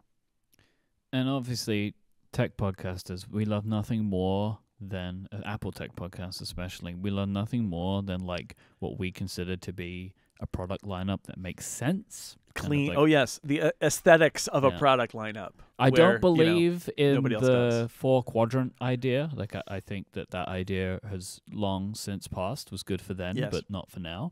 I just like there to be. I can look at a product page, and I can see all the products, and they make sense to me. And when I look at the like all MacBook, oh, all, all Mac, like compare all Macs page or whatever, right? And I see all the laptops, I'm like yeah, this makes sense to me. That we have a 13 inch MacBook Right. Air and we have a 15 inch MacBook Air, and we have a 14 inch MacBook Pro, and we have a 16 inch MacBook Pro, and you can configure them within themselves. But like that, those four laptops, just it makes sense. And the old MacBook Pro just made no sense. Made no sense. yeah, it was from no another sense. era. yes. Uh, one other one other note um, that I wanted to mention is color because the the low end MacBook Pro 14, the M3 MacBook Pro 14, Mm-hmm. doesn't come in space black. Gasp! It comes in silver and, and the old space gray. I guess they had some old space gray laying around, and if you want a pro, the most pro color, you gotta you gotta spend two grand. So for that. Sorry. basically, it's like you're a fake pro, right? it's the yeah, it's the mark of shame. Yeah, you're a fake pro. You, you So just get it in silver one. because then then nobody needs to know. You're a fake pro. But if you get in space gray, you're letting you're you're you're telling on yourself, I guess, or something. I It also- weird. that 14 inch MacBook Pro, as pointed out by friend of the show, Dan Seifert, uh, I saw this on Mastodon, It starts at sixteen hundred dollars. It comes with eight gigabytes of RAM. That is Yep. bad. That is bad. That is just bad. I think the iMac is the same. Like, Yep. stop doing that. I, you know, I, I I would love to see more. At the same time, I think there's an argument to be made that it's well, okay. It's two things going on. There's an argument to be made that that we all overvalue RAM for a lot of regular normal people who don't care, and it's fine. Um, It's But I- just a lot my- of money to spend but on a I- computer with I- those specs. I agree. I think that the what I would say is this is a case where Apple we Apple's having us talk about sixteen hundred dollars, and the truth is fifteen ninety nine, whatever. Um, they know that, you know, I I think the argument is. Let me see if I can phrase this right. The people who are just buying the base model probably don't care about the eight gigs of RAM. And the people who do care will give Apple more money. and Yeah. I think Apple likes the way that works, right? Which is like, ah, this price gets them in the door. Oh, MacBook Pro for fifteen ninety nine. Uh, tell me more. And then say, oh, it's eight gigs of RAM. And some percentage of buyers will be like, great, whatever, and they'll buy it, and they'll probably be fine with it, honestly, because somebody who says great, whatever, probably doesn't really uh, need more RAM. Honestly, do you really need more RAM? Some people do, but lots of people don't.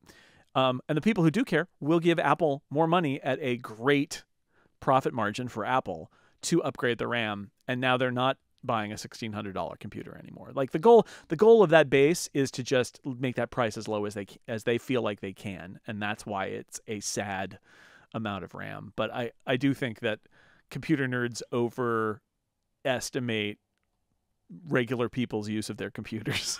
so, but I feel for all the corporate uh, people who will get the 1599 MacBook Pro given to them, and they'll and they'll struggle with the eight gigs of RAM, and they'll be sad. I, I do feel for them. Yeah, yeah, I know.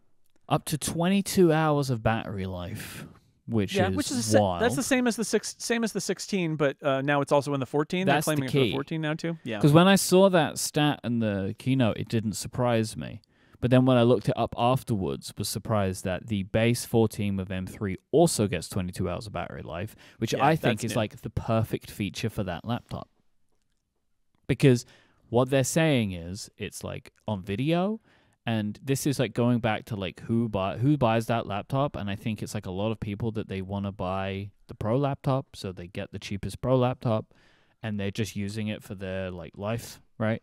They're not using it to make videos and they're not using it to make music. They're like it's their laptop, so they're watching their TV shows Yes. on it and they're doing their web browsing, which is like a perfectly acceptable use of this computer. And now you Mhm. get 22 hours of battery life to do it. You can use it for longer than you can stay awake, which is just kind of awesome. Yeah. And- so the um the stat. Oh, first of all, the- it, also the M3 chip has support for that. Um, was it, e, was it EV1 of the the video codec that's on like it's Oh, the not yeah. H264. Um, that that makes a difference in battery life because they do a lot of battery life that's like video streaming. AV1, thank you, Joe Steele.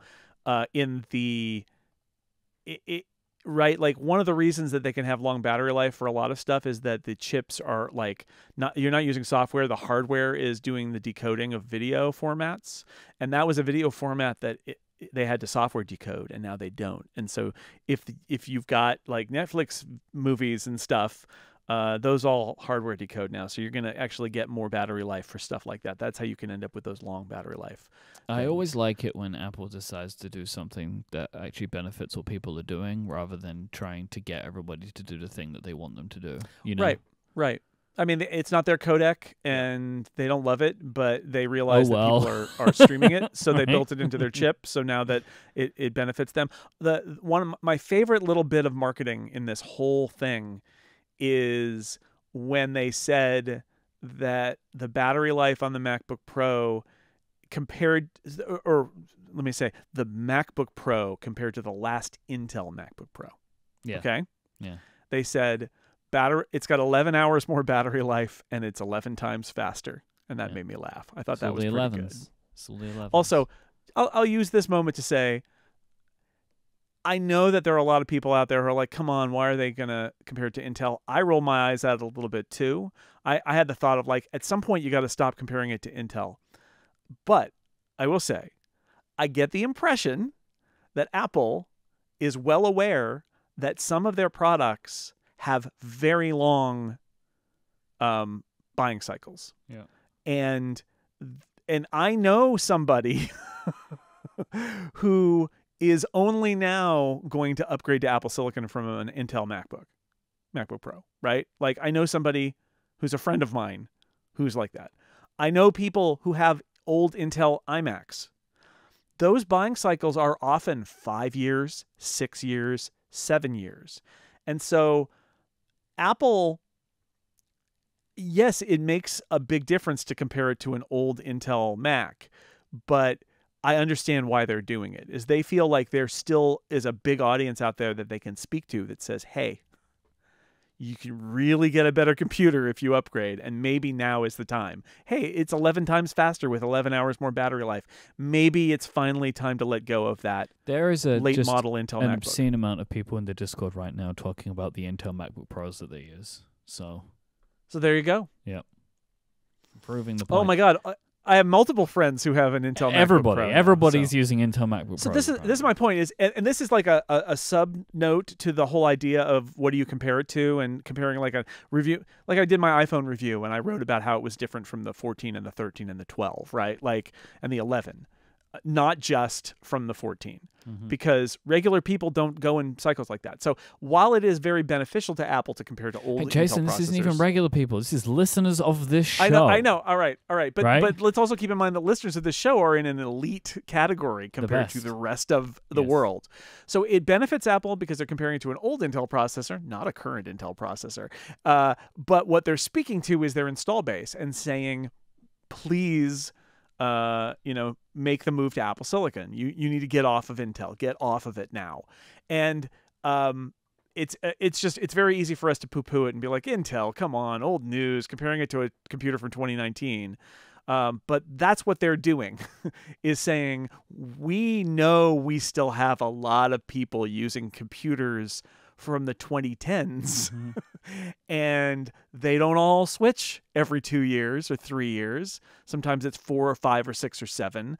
My family, we had an an iMac for like seven years before we updated it. And it was like a 2011, 2010 iMac. I mean, we had it for seven years, right? Like, that's all, like, again, just perspective, I guess. Mm-hmm. Like, that's one of the reasons Apple's doing it. Yes, the numbers look great, but there's also a message to be sent there saying, hey, if you're still hanging on to an Intel MacBook Pro, you should know that the best one we ever made, this is 11 times faster with essentially double the battery life and and that's why they they do that they're not just doing that to boast they're doing that because they're trying to reach people who are at toward the end of the life of their Intel Mac trying to induce them to make the move now And I wonder how many more versions of Mac OS will be made for Intel.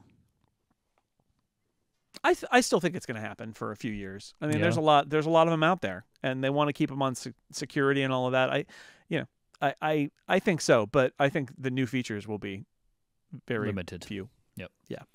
Uh, one last thing on the MacBook Pro that I, that I thought was pretty cool is that they have increased the brightness of the display. So at Yes. standard definition, it matches that of the studio display, and I just Right, think at- that is at standard great.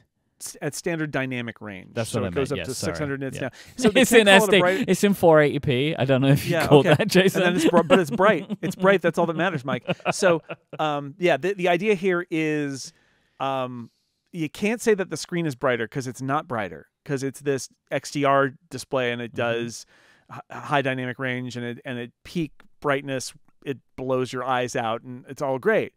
But what they did do is most of the time you're not looking at, at HDR content, you're looking at standard dynamic range content, and that can now get brighter by 30%. So it's actually, if you think about like you living life in standard dynamic range, these have brighter screens. Yep. Even though it's not technically true with HDR, most of us do not work in HDR. We work in SDR. And occasionally you open a photo and you're like, whoa, or a movie. You're like, ah, the, it's so bright. Oh no. But uh, most of the time, not. So it's brighter and it matches the studio display's max brightness. So uh, that's good. It's a good thing. Yeah, it's pretty cool. I, I like that. I like that feature. It's just like a nice little detail. The iMac got an update. Yes, the iMac. N- nothing did. really changed. It's it's the same. Same iMac. everything. It's the same colors. Same colors. same stand. Yep. Uh, so those late rumors that we saw of some kind of stand change that didn't happen. Um, what it's done is moved to an M3, just the M3. yes, just the M3. No other options.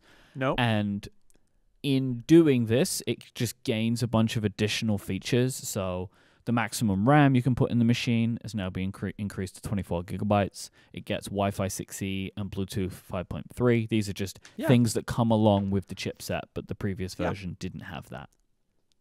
It's uh, it, it is exactly what you might expect, which is it's the M1 iMac, but now it's an M3. Which means, by the way, that all of Apple's comparisons to the M1 make sense on the iMac because there wasn't an M2 iMac, so they can just say it's twice as fast.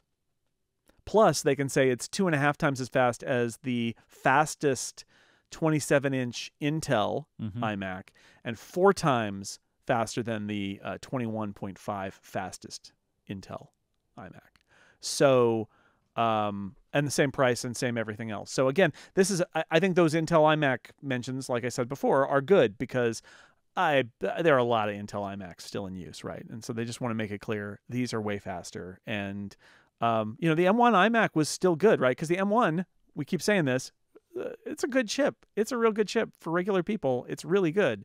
Um, but it did need a refresh. It was time for the iMac to get some love, and I'm glad it got it. But it, it already got its big redesign, so there's nothing new here at all. They didn't even they uh, unless something comes out as we get them. It seems like they didn't even tweak it like at all, other than Mhm. making the chip changes. But that's Yeah, no, fine. it's basically nothing. I, I, my feeling on the on the iMac, I think skipping a chip cycle like is a good kind of product revision cycle for this product. It's fine. I think it's fine. Yeah. Um, my only disappointment here, you mentioned same stand. There were those rumors about a different stand attachment, and I don't think this is true, and it's too bad. Like I had this, I had another shower thought, Mike.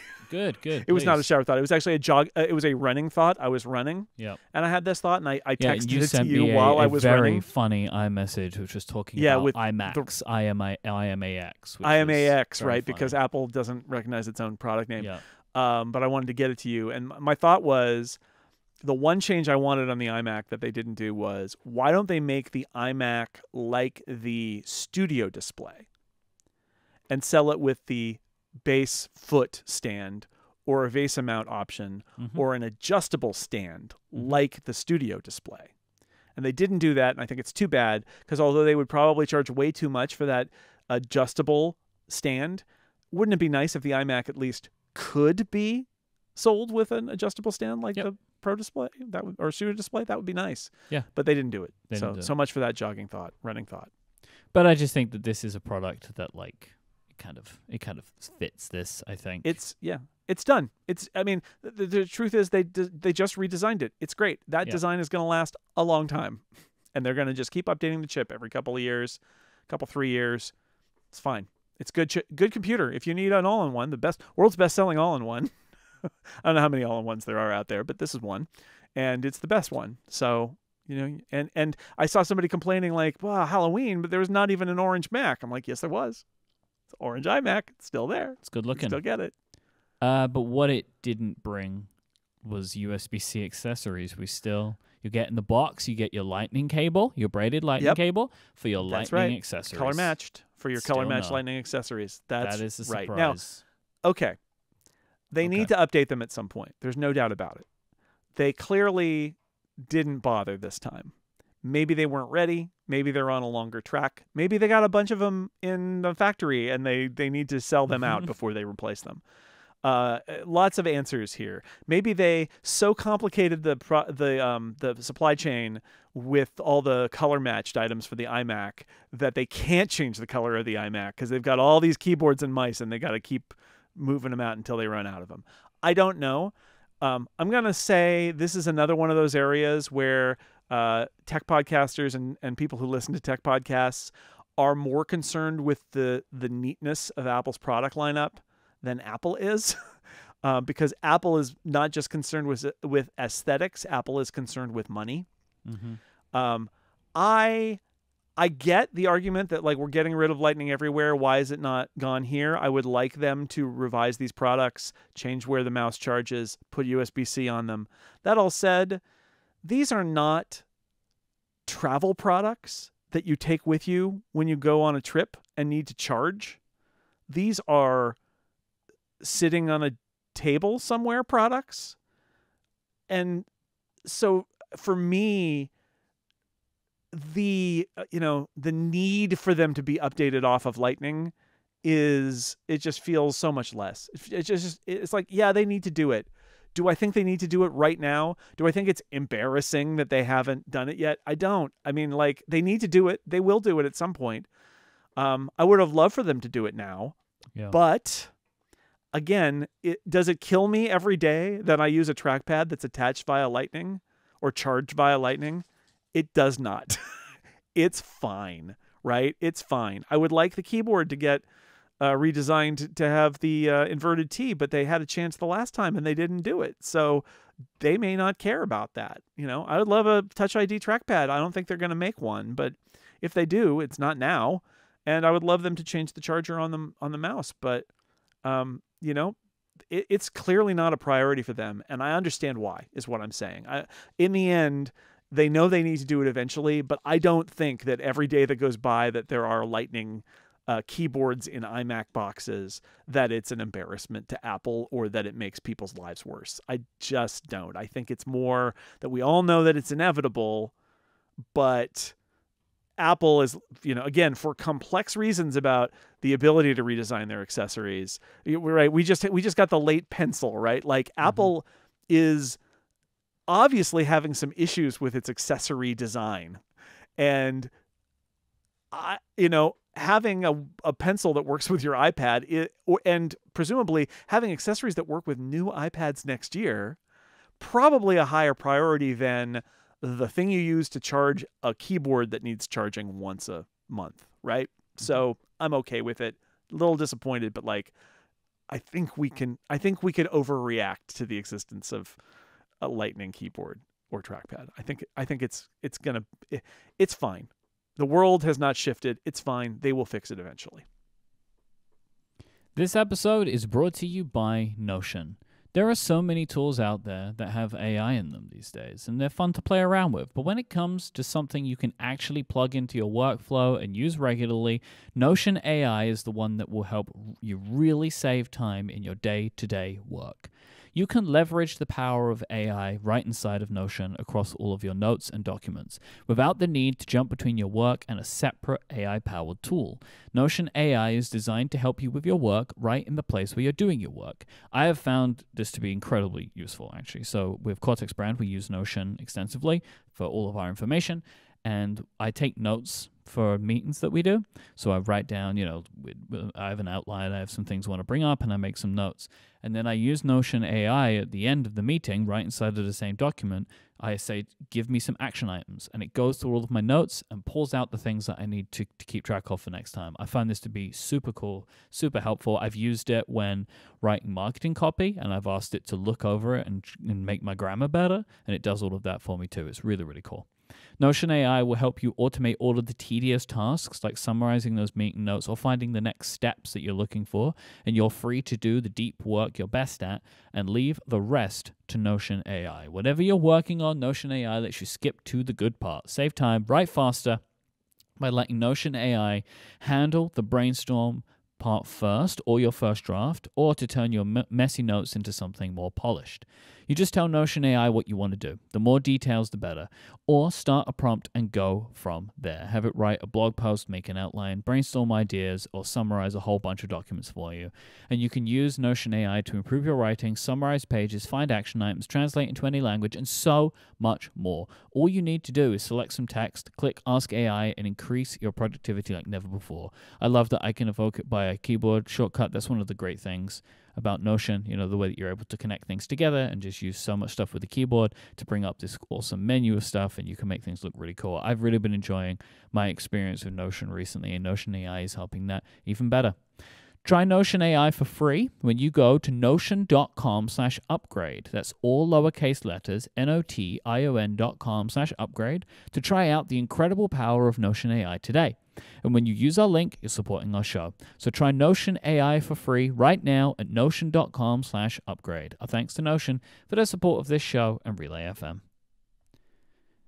Jason, I put a call out to the Upgradians, and they Yes. have come, they have they have answered with questions. So the oh, answer great. is questions, and we have a lot of Ask Upgrade today to get through about these products. The first question comes from Jeff. Jeff says, "It seems like there's a lot more configurations for the new MacBook Pros. Many different CPU and GPU configurations, a variety of memory options exclusive to each configuration." Do you think this is just a downside of how Apple is binning their chips, or is there a strategic approach or user need that you think they're trying to solve?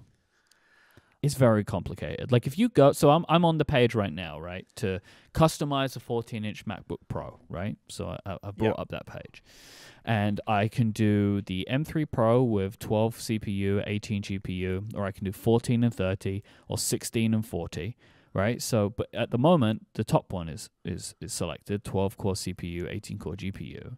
So then I look down to memory, and there are six options for RAM, but only two of them are available to me, right? And there are four options for storage, but only three of them are available to me. And as I change to different CPU options, it then changes the amount of RAM that I'm able to choose and the storage I'm able to choose. Like Mhm. it is complicated now, way more than ever before, I think. Yeah, yeah. So the reason the reason is twofold. It's in part that they are differentiating, right? The Max and the Pro. So those configs are going to be real different. And then you know, the other part of it I think is that Apple like the RAM is part of the chip, right? It's not a it's not a BTO where they like pop a different SIM module in. It's on the chip. So I think they're making certain configs with certain RAM. I think is what they're doing. Yeah. and and so this goes with that and this goes with that. So you it, it is it is more complex. It'll be interesting to see how they do it over time. I don't know where um where the binning fits in and whether they are binning if if it's just binning that's going on or if they're literally building different configurations and tying them to Mhm. different amounts. Also, again, the difference between Pro and Max is that Pro has the three memory banks instead of uh, two on the Max, and Yep. so the numbers are just the math is different if you go from Pro to Max. So it's it's more complex, and we'll have to learn what it is. But I think that there are I think that probably there's binning going on here, and there's some choices that they're making about how they're manufacturing these. And we don't know the whole backstory here, but this is that brand new three nanometer process from mm-hmm. TSMC. So who knows, like under the covers, what kind of weird complexities are going on in order for these things to ship. Um, that's going to be interesting. Maybe some of that will leak, or people will get these and tear them apart, and we'll start to get a better idea. Yeah, this is super weird. Like I'm clicking around now, right? And then as you click to certain configurations, the minimum RAM changes. And then there are also so like if I ch- uh, choose the 14 CPU, 30 core GPU, I now have two RAM options, but it's 36 and 96. Like the ones in Yes. the middle, I can't choose. And like Right. I can also feel the I can feel the meeting that went into a line which is on this page that says select M3 Max with 30 core GPU to add 96 gigabytes of memory. Select M3 Max with 40 core GPU to add 48, 64, or 128. Like that's a little note underneath the chip section where like someone was like, guys, this is too confusing.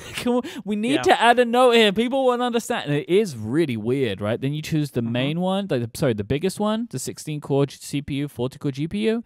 Then I can choose 48, 64, or 128. I can't get 96. Like it is Right. odd when you start clicking through It this is. and and it I don't uh, like for me like if I was designing this page I would not have the grayed out RAM visible on this page. Like well, so it makes me get rid it it. makes me think that maybe Apple isn't binning here and is actually just making some different configs, it feels like that. right? Yeah. right? That they they are making a 40 core GPU max that has those RAM configurations, and then they're making a 13 core one that has the different RAM configurations, and that's just how they've decided to do it, it's very. It's this is like I which allows them. clicked around right? on this page, and it's Yeah. much more. It's much more uh, daunting, I think, than Yeah, than I thought before. The whack-a-mole Mm. game, right? Yes, it Like, is but like with this one. No, I want this one. No, no, it moved. no, you- it be silly. changed. Now the now the memory is different. Why Don't is it different? Silly. Don't be silly. Forty-eight gigabytes feels like such a high starting point, but I guess you're already in. You know, when you go into the M3 Well, Max, you're buying. already you're, in. You bought the Max Max, right? yeah. What do you, you bought want? the Max Max at that point. Yeah. So you should get it Max. Yep. It's already Max it Max. out. Max it out. They're helping you out. They're helping you. Ma- well, it's not even maxed out, but they're helping you max it a little bit. Yeah. I mean, at that point, it's thirty six ninety nine Mhm. to start. Like it's yeah. We got about right? five or six variations of the following question. Alex Okay. says, with the M3's big focus on graphical performance, it seems like the perfect fit for the Vision Pro with all the graphical computing that it has to do. Do you think Apple might say, just kidding, the Vision Pro is coming with the M3 M3 chip rather than the M2 chip? I don't think so. I think they designed it like a year ago. I think that it's I don't think is it what it needs it. Like I, people, people. I've seen a lot of people, and, ag- and again, the questions and people online talking about it. Like, oh, surely it's going to be the M3. How could they release it and say it has an M2? Like, I just don't. Th- they didn't build Pro. it for the M3. Like, also, do you know what? Like, the Vision Pro has the R1 chip. Other computers don't have that, right? Like, it, it- there's two chips in this product that's powering it. Is what we know, right? And I just feel like there's no need to desire a different chip in it than the one that it has. Like they have made it with that in mind. And so and with the power envelope in mind it. and the heat envelope in Yeah. mind and all of those things about it. That's what it's for. Plus, you're right. It's got the R1 chip in there. And again, when the Vision Pro comes out, I doubt that people are going to be like, but M2. They're going to be like, oh, Vision Pro, right? Like that's. but it's like they you know, also didn't put the M2 Max in there, did they? You know, like They- uh, right? It's true. Like they they Or had Pro. more power available to them if they wanted it, but they decided to settle and build around a certain configuration. about the M2. Look, they might do it. I doubt it. They might, but I doubt it. I just think that it's not. I don't think it's worth worrying about, right? Like, No. if, for example, if they'd never told you that it had an M2 in it, then you wouldn't be worried, right? If they said, like, it has an R1 and an F2 in it or whatever, you'd just be like, oh, well, they're the Vision Pro chips. Like, you just wouldn't think about it. I don't have an M2 in my AirPods. You know, like it's it's like it, uh, the the the products have what they have and they design them for that. I wouldn't worry too much about one about it being where it is because as well, like when the Vision Pro comes out, there's still going to be a lot of computers that still have an M2 in them, including the Mac Pro. So Yeah. that's going to stick around for a while, I expect. Jordan says, for the M3 series, why do you think Apple emphasized the power, savings, and efficiency when seemingly the same process received no power saving mention in the A17 Pro chip for the iPhone? Could it be the efficiency gains are only apparent when scaled up to Mac performance level? Perhaps it could be meaningful for the iPad?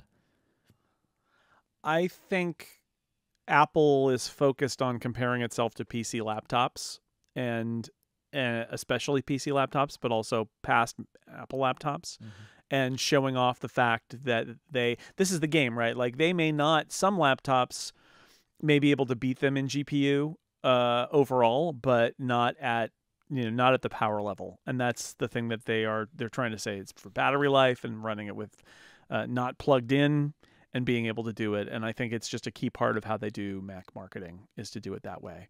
Um, I think they're less concerned about it for the iPhone than they are for the Mac. So uh, I think it's I, I do think it's that simple.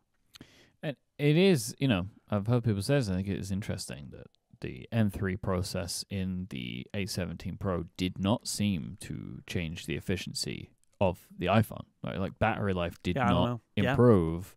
But then also, you know, Ben Thompson's been talking about this a lot. It's stuff that I don't completely understand, but that this M3, uh, sorry, this this three nanometer chip in the Mac is not the same three nanometer process that the iPhone chip was made from. We we don't know, but That's it sounds like saying. it's po- It's Yeah. possible that this is this new TSMC process that is going to ship in the fall, which is now. Um, it's possible that this is a different process than is than the A17 uh, Pro chip. And we we don't we don't know, but it is possible that that's the case.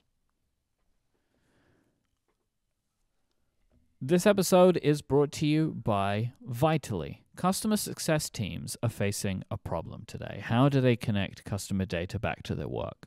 Vitally changes that. It's a new kind of customer success platform, an all in one collaborative workspace that combines your customer data with all of the capabilities you expect from today's project management and work platforms. Because it's designed for today's customer success team, that is why Vitally operates with unparalleled efficiency, improves net revenue retention, and delivers best in class customer experiences. It's the solution to helping your customer success teams keep a better pulse on your customers, which maximizes productivity, visibility, and collaboration. You can boost your bottom line by driving more revenue per customer with Vitally. And if you take a qualified demo of Vitally, you'll get a free pair of AirPods Pro. So if you're a customer success decision maker actively seeking CS solutions, working at a B2B software as a service company with 50 to 1,000 employees, and you're willing to explore changing customer success platforms if you already have one in place, schedule your call by visiting vitally.io slash upgrade and get that free pair of AirPods Pro. That is V-I-T-A-L-L-Y dot I-O slash upgrade, vitally.io slash upgrade for a free pair of AirPods Pro when you schedule a qualified meeting. Our thanks to Vitally for their support of this show and Relay FM. Next question comes from Carter. Do you think that Apple not updating the iMac accessories of USB C means that we might see a more significant revision of these accessories when they do update them? Uh, maybe. I think that's not a bad thing. Like the idea is why, and we we should say a lot of people are like, but the EU banned Lightning. It's like that's not the case. Existing products can continue to be sold. It's new products that they want to have USB C. Um, so it doesn't. They can keep these for as long as they want. I I think there's something to Carter's question here, which is Apple seems to want to only update these when they are motivated to, and if you're going to go through a cycle, especially since we know when you redesign a keyboard, trackpad, or mouse on for Apple, it's for like a decade. They don't update them very often at all. Um, I think there have essentially only been two generations of Magic Trackpad, right? And that goes back like 15 years. Um, so maybe even longer, uh, 20 years. I, it, it, they last forever. So when you do it, it should matter. Now, they did update the Magic Keyboard because they wanted to do Touch ID. Mm-hmm. And so they did that. So I guess that's the question is if Apple's going to make a new mouse, are they going to just put the USB-C hole in where the lightning hole is? Or are they going to be like, no, no, no, no, no, no, new mouse. Let's make this what do we know about people using Macs today who have a mouse and what can we do there? And and trackpad the same way. Like what about the Magic trackpad that's current could be better? Uh, is it the Bluetooth in it? Is it the uh, this touch sensor? Is there something to be done there? Could there be an under glass Touch ID? Um, all of these things are possible. I'm sure they have those conversations, and yeah, I think there's something to that idea, Carter, that you don't need to change them, and when you do change them, you very rarely get the opportunity. So if you're going to do it, make it last and have it be a real update. Otherwise why are you even doing it? But I, I, think that that could be the answer is that if all they were going to do was slap usb-c ports onto the existing ones. They, they maybe could have done that but at that point you're opening the box and you're changing the equipment inside and and you should probably do a more substantive update than that.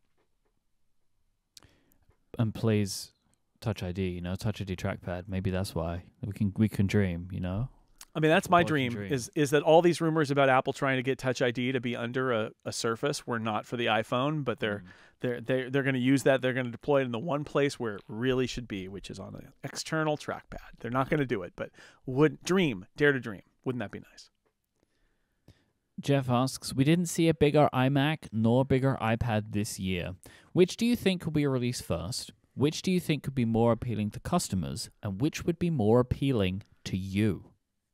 Bigger Mac, bigger iMac, bigger iPad. So we'll say iMac Oh. Pro, bigger iPad Pro. I am a user of a big iPad Pro. I am intrigued by the idea of a bigger iPad Pro, although I don't think I would get it. Um, Hmm. and iMac, I have bought big iMacs in the past. At this point, I'm pretty much in the studio display with a Mac Studio lifestyle or studio display with a MacBook Air lifestyle.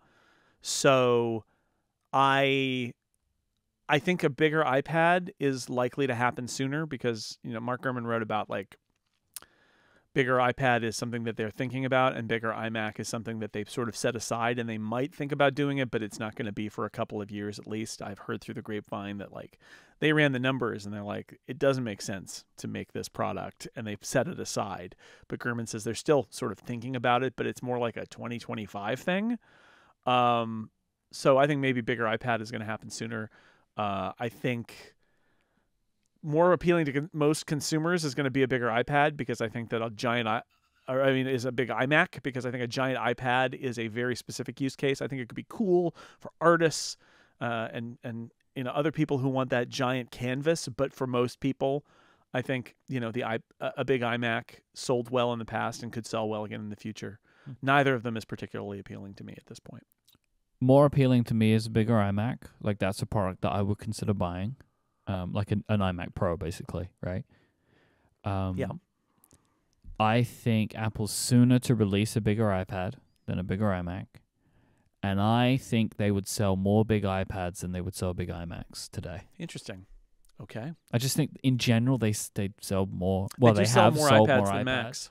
and and Yeah. I I think that when it comes to Macs, people want laptops now, right? Primarily more than anything else, and I think a big iPad could maybe be something that people would be excited about, and it might be one of those things that I don't know sells well at the beginning, um, but probably wouldn't over time. maybe it would taper off. Swifty says, Do you think we are finally starting to see hints of a regular update schedule for Macs and M series chips? One can hope. No. One can hope. I I think I think it all comes down to the chip generations, right? So we had our you know, uh, the chip generations seem to be going in 18 months ish hmm intervals. Um I yeah, I don't know. If if everything is almost everything on an 18 month schedule or not, eh, like not the iMac, but everything else, maybe. Maybe. But uh I I think that the the MacBook Pro coming out now less than a year is different. And the Pro chips coming out now and Max chips instead of in the spring is different. Um, so we have more data, but I don't know if if we can sift through the noise to find out what Apple's ideal is. Yeah. Um, Apple's ideal is probably every 18 months for the Mac and laptops on that 18 month cycle and desktops on either an 18 month cycle or a 36 month cycle is my guess. Um, but I, I- I'm still not sure. Like I'm still not sure. I thought the Mac Studio wasn't going to get updated in M2, and in fact they did, and they did the Mac Pro. So is there an M3 Pro and Ultra, or Max and Ultra, Mac Studio, and Mac Pro? I think I'm I'm the kind of person actually who believes that now that Apple has its own chips, Apple actually does want to update all its computers with its new chips. I actually do believe that's the case. Yeah. I think Apple wants if if it's an 18 month cycle, Apple does want a new Mac Pro every 18 months and does want a new Mac Studio every 18 months. I think that that's the ideal. And that when something like the iMac goes a generation, I think it's because of timing reasons or because it's a lower priority and something else came in front of it. And the stuff that matters most to them, which is the MacBook Air and MacBook Pro, those are going to be in every single cycle. So we're starting to see it, but there's still some noise in this. So, uh, but but but to answer uh, Swifty's question, hints. I mean, we've seen hints of it, but like, I'm not positive, but it feels like Apple wants this chip cycle to be 18 months and wants all its major products updated within each cycle. I hope because I just like it, but and and, Yeah. and I and I'm confident that they would like it too, but it doesn't seem like it's been smooth sailing, but the difference is when it isn't, they have more levers they can pull than when it was with Intel, right? Like when Intel wasn't smooth sailing, everything just came to a grinding halt for a long time. Yeah. And at least Apple is able to do whatever they are able to do and maybe have more leverage than they did mm-hmm. in the Intel relationship to make Right. it work the way they want. but I think they'd be more than happy to just put their new chip in in every product in their line and every generation. I think that that is at least so far I think that's the goal. That seems to be the goal. And it may not always work out, but I think that's the goal, right? It's hard not to look at the all the accolades that they have thrown out there for the M3 Max and not imagine that next year there will be an M3 Max Studio and an M3 Max Mac Pro. Like it's it's or and uh, M3 Ultra Uh-huh. Mac Pro. It's just very hard to imagine that that that they would be like, no, no, no, no, we'll just wait for the M4. Like, I just I don't think that's what they want to do unless there's a problem, right? Something that comes up, and I think that's what happened with the iMac, where they're like, we just you know missed it, and now it's the first of the next generation instead because we that's where we are now. And finally, Tim wants to know what we think the default laptop's going to be now for most people. Is it going to be this M3 MacBook Pro or is it going to be the M2 MacBook Air? I think the default laptop is the MacBook Air because of the price. I think it should be. Like, this is, uh, I've been banging this drum for ages that I think the M2 MacBook Air is like the best computer ever and people should just use that. I just don't know if corporate is going to change. Maybe the price Well- will make them change, right? But but here's the so thing: expensive. it's default laptop. Like the MacBook Air sells sold better than the 13-inch MacBook Pro did. Yeah. The, the the MacBook Air is the default laptop. I Yeah. think there's nothing here in introducing a more expensive MacBook Pro base model that will wrest any uh you know championship belt away from from the Yeah. MacBook Air. It's still going to be the champion. In fact, I think it's going to be more so the champion because some percentage of people who would have bought a 1399 or 12 or yeah 1299 MacBook Pro with a touch bar, some percentage of them are not going to buy that 1599 MacBook Pro 14 inch. They're going to go to the MacBook Air. Mm-hmm. and and you know you've got 12.99 for the 15 inch. So there's your 12.99 price point right? It's the 15 inch air. And then there's the 13 inch air at 10.99 and i realize there are going to be some buyers people and corporations who don't want to buy a macbook air.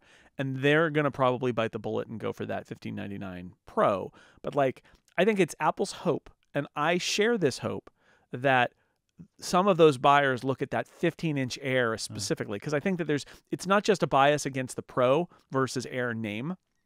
I think it's a bias against small screens. So it's an air, but it's a 15 inch air. I think Apple's hoping that they will make some inroads into corporate sales with that product too. Yeah, that'd be funny. And. I would right? love to know if I this would is love to how know they the sell the 15 inch Air is by Yeah. introducing a more expensive MacBook Pro. Yeah. Yeah. I would love to know the percentage of potential uh, MacBook Pro buyers at the low end who go to the more expensive Pro versus go to the 15 inch Air versus go to the 13 inch Air.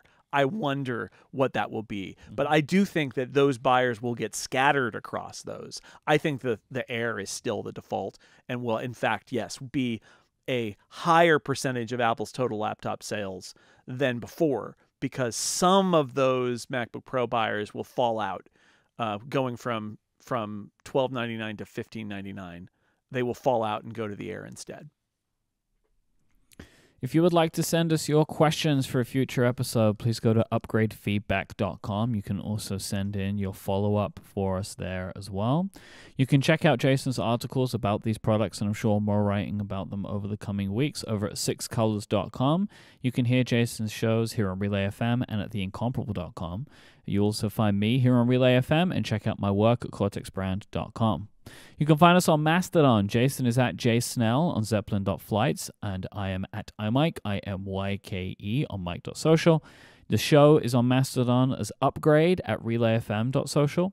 You can watch video clips of the show on TikTok, Instagram, and YouTube, we are at Upgrade Relay, and on our YouTube channel at the moment, full video episodes, if that's your bag. We're on threads. I am iMyke. Jason is at jsnell. Thank you to our members who support us with Upgrade Plus. You can get longer ad free versions of the show each and every week, even when we do bonus episodes like the mini draft, by uh, going to getupgradeplus.com, just $5 a month or $50 a year. Thank you to our members who help make this show possible, along with our sponsors. This week it's Vitally, Notion, Delete Me, and Ladder. We'll be back next week for some money, money, money, money talk because it's earnings time. Money, money, money. Chart, chart, charts. Thank you for listening to this episode of Upgrade. We'll be back next time. Until then, say a spooky goodbye, Jason. Ah, goodbye. Ah!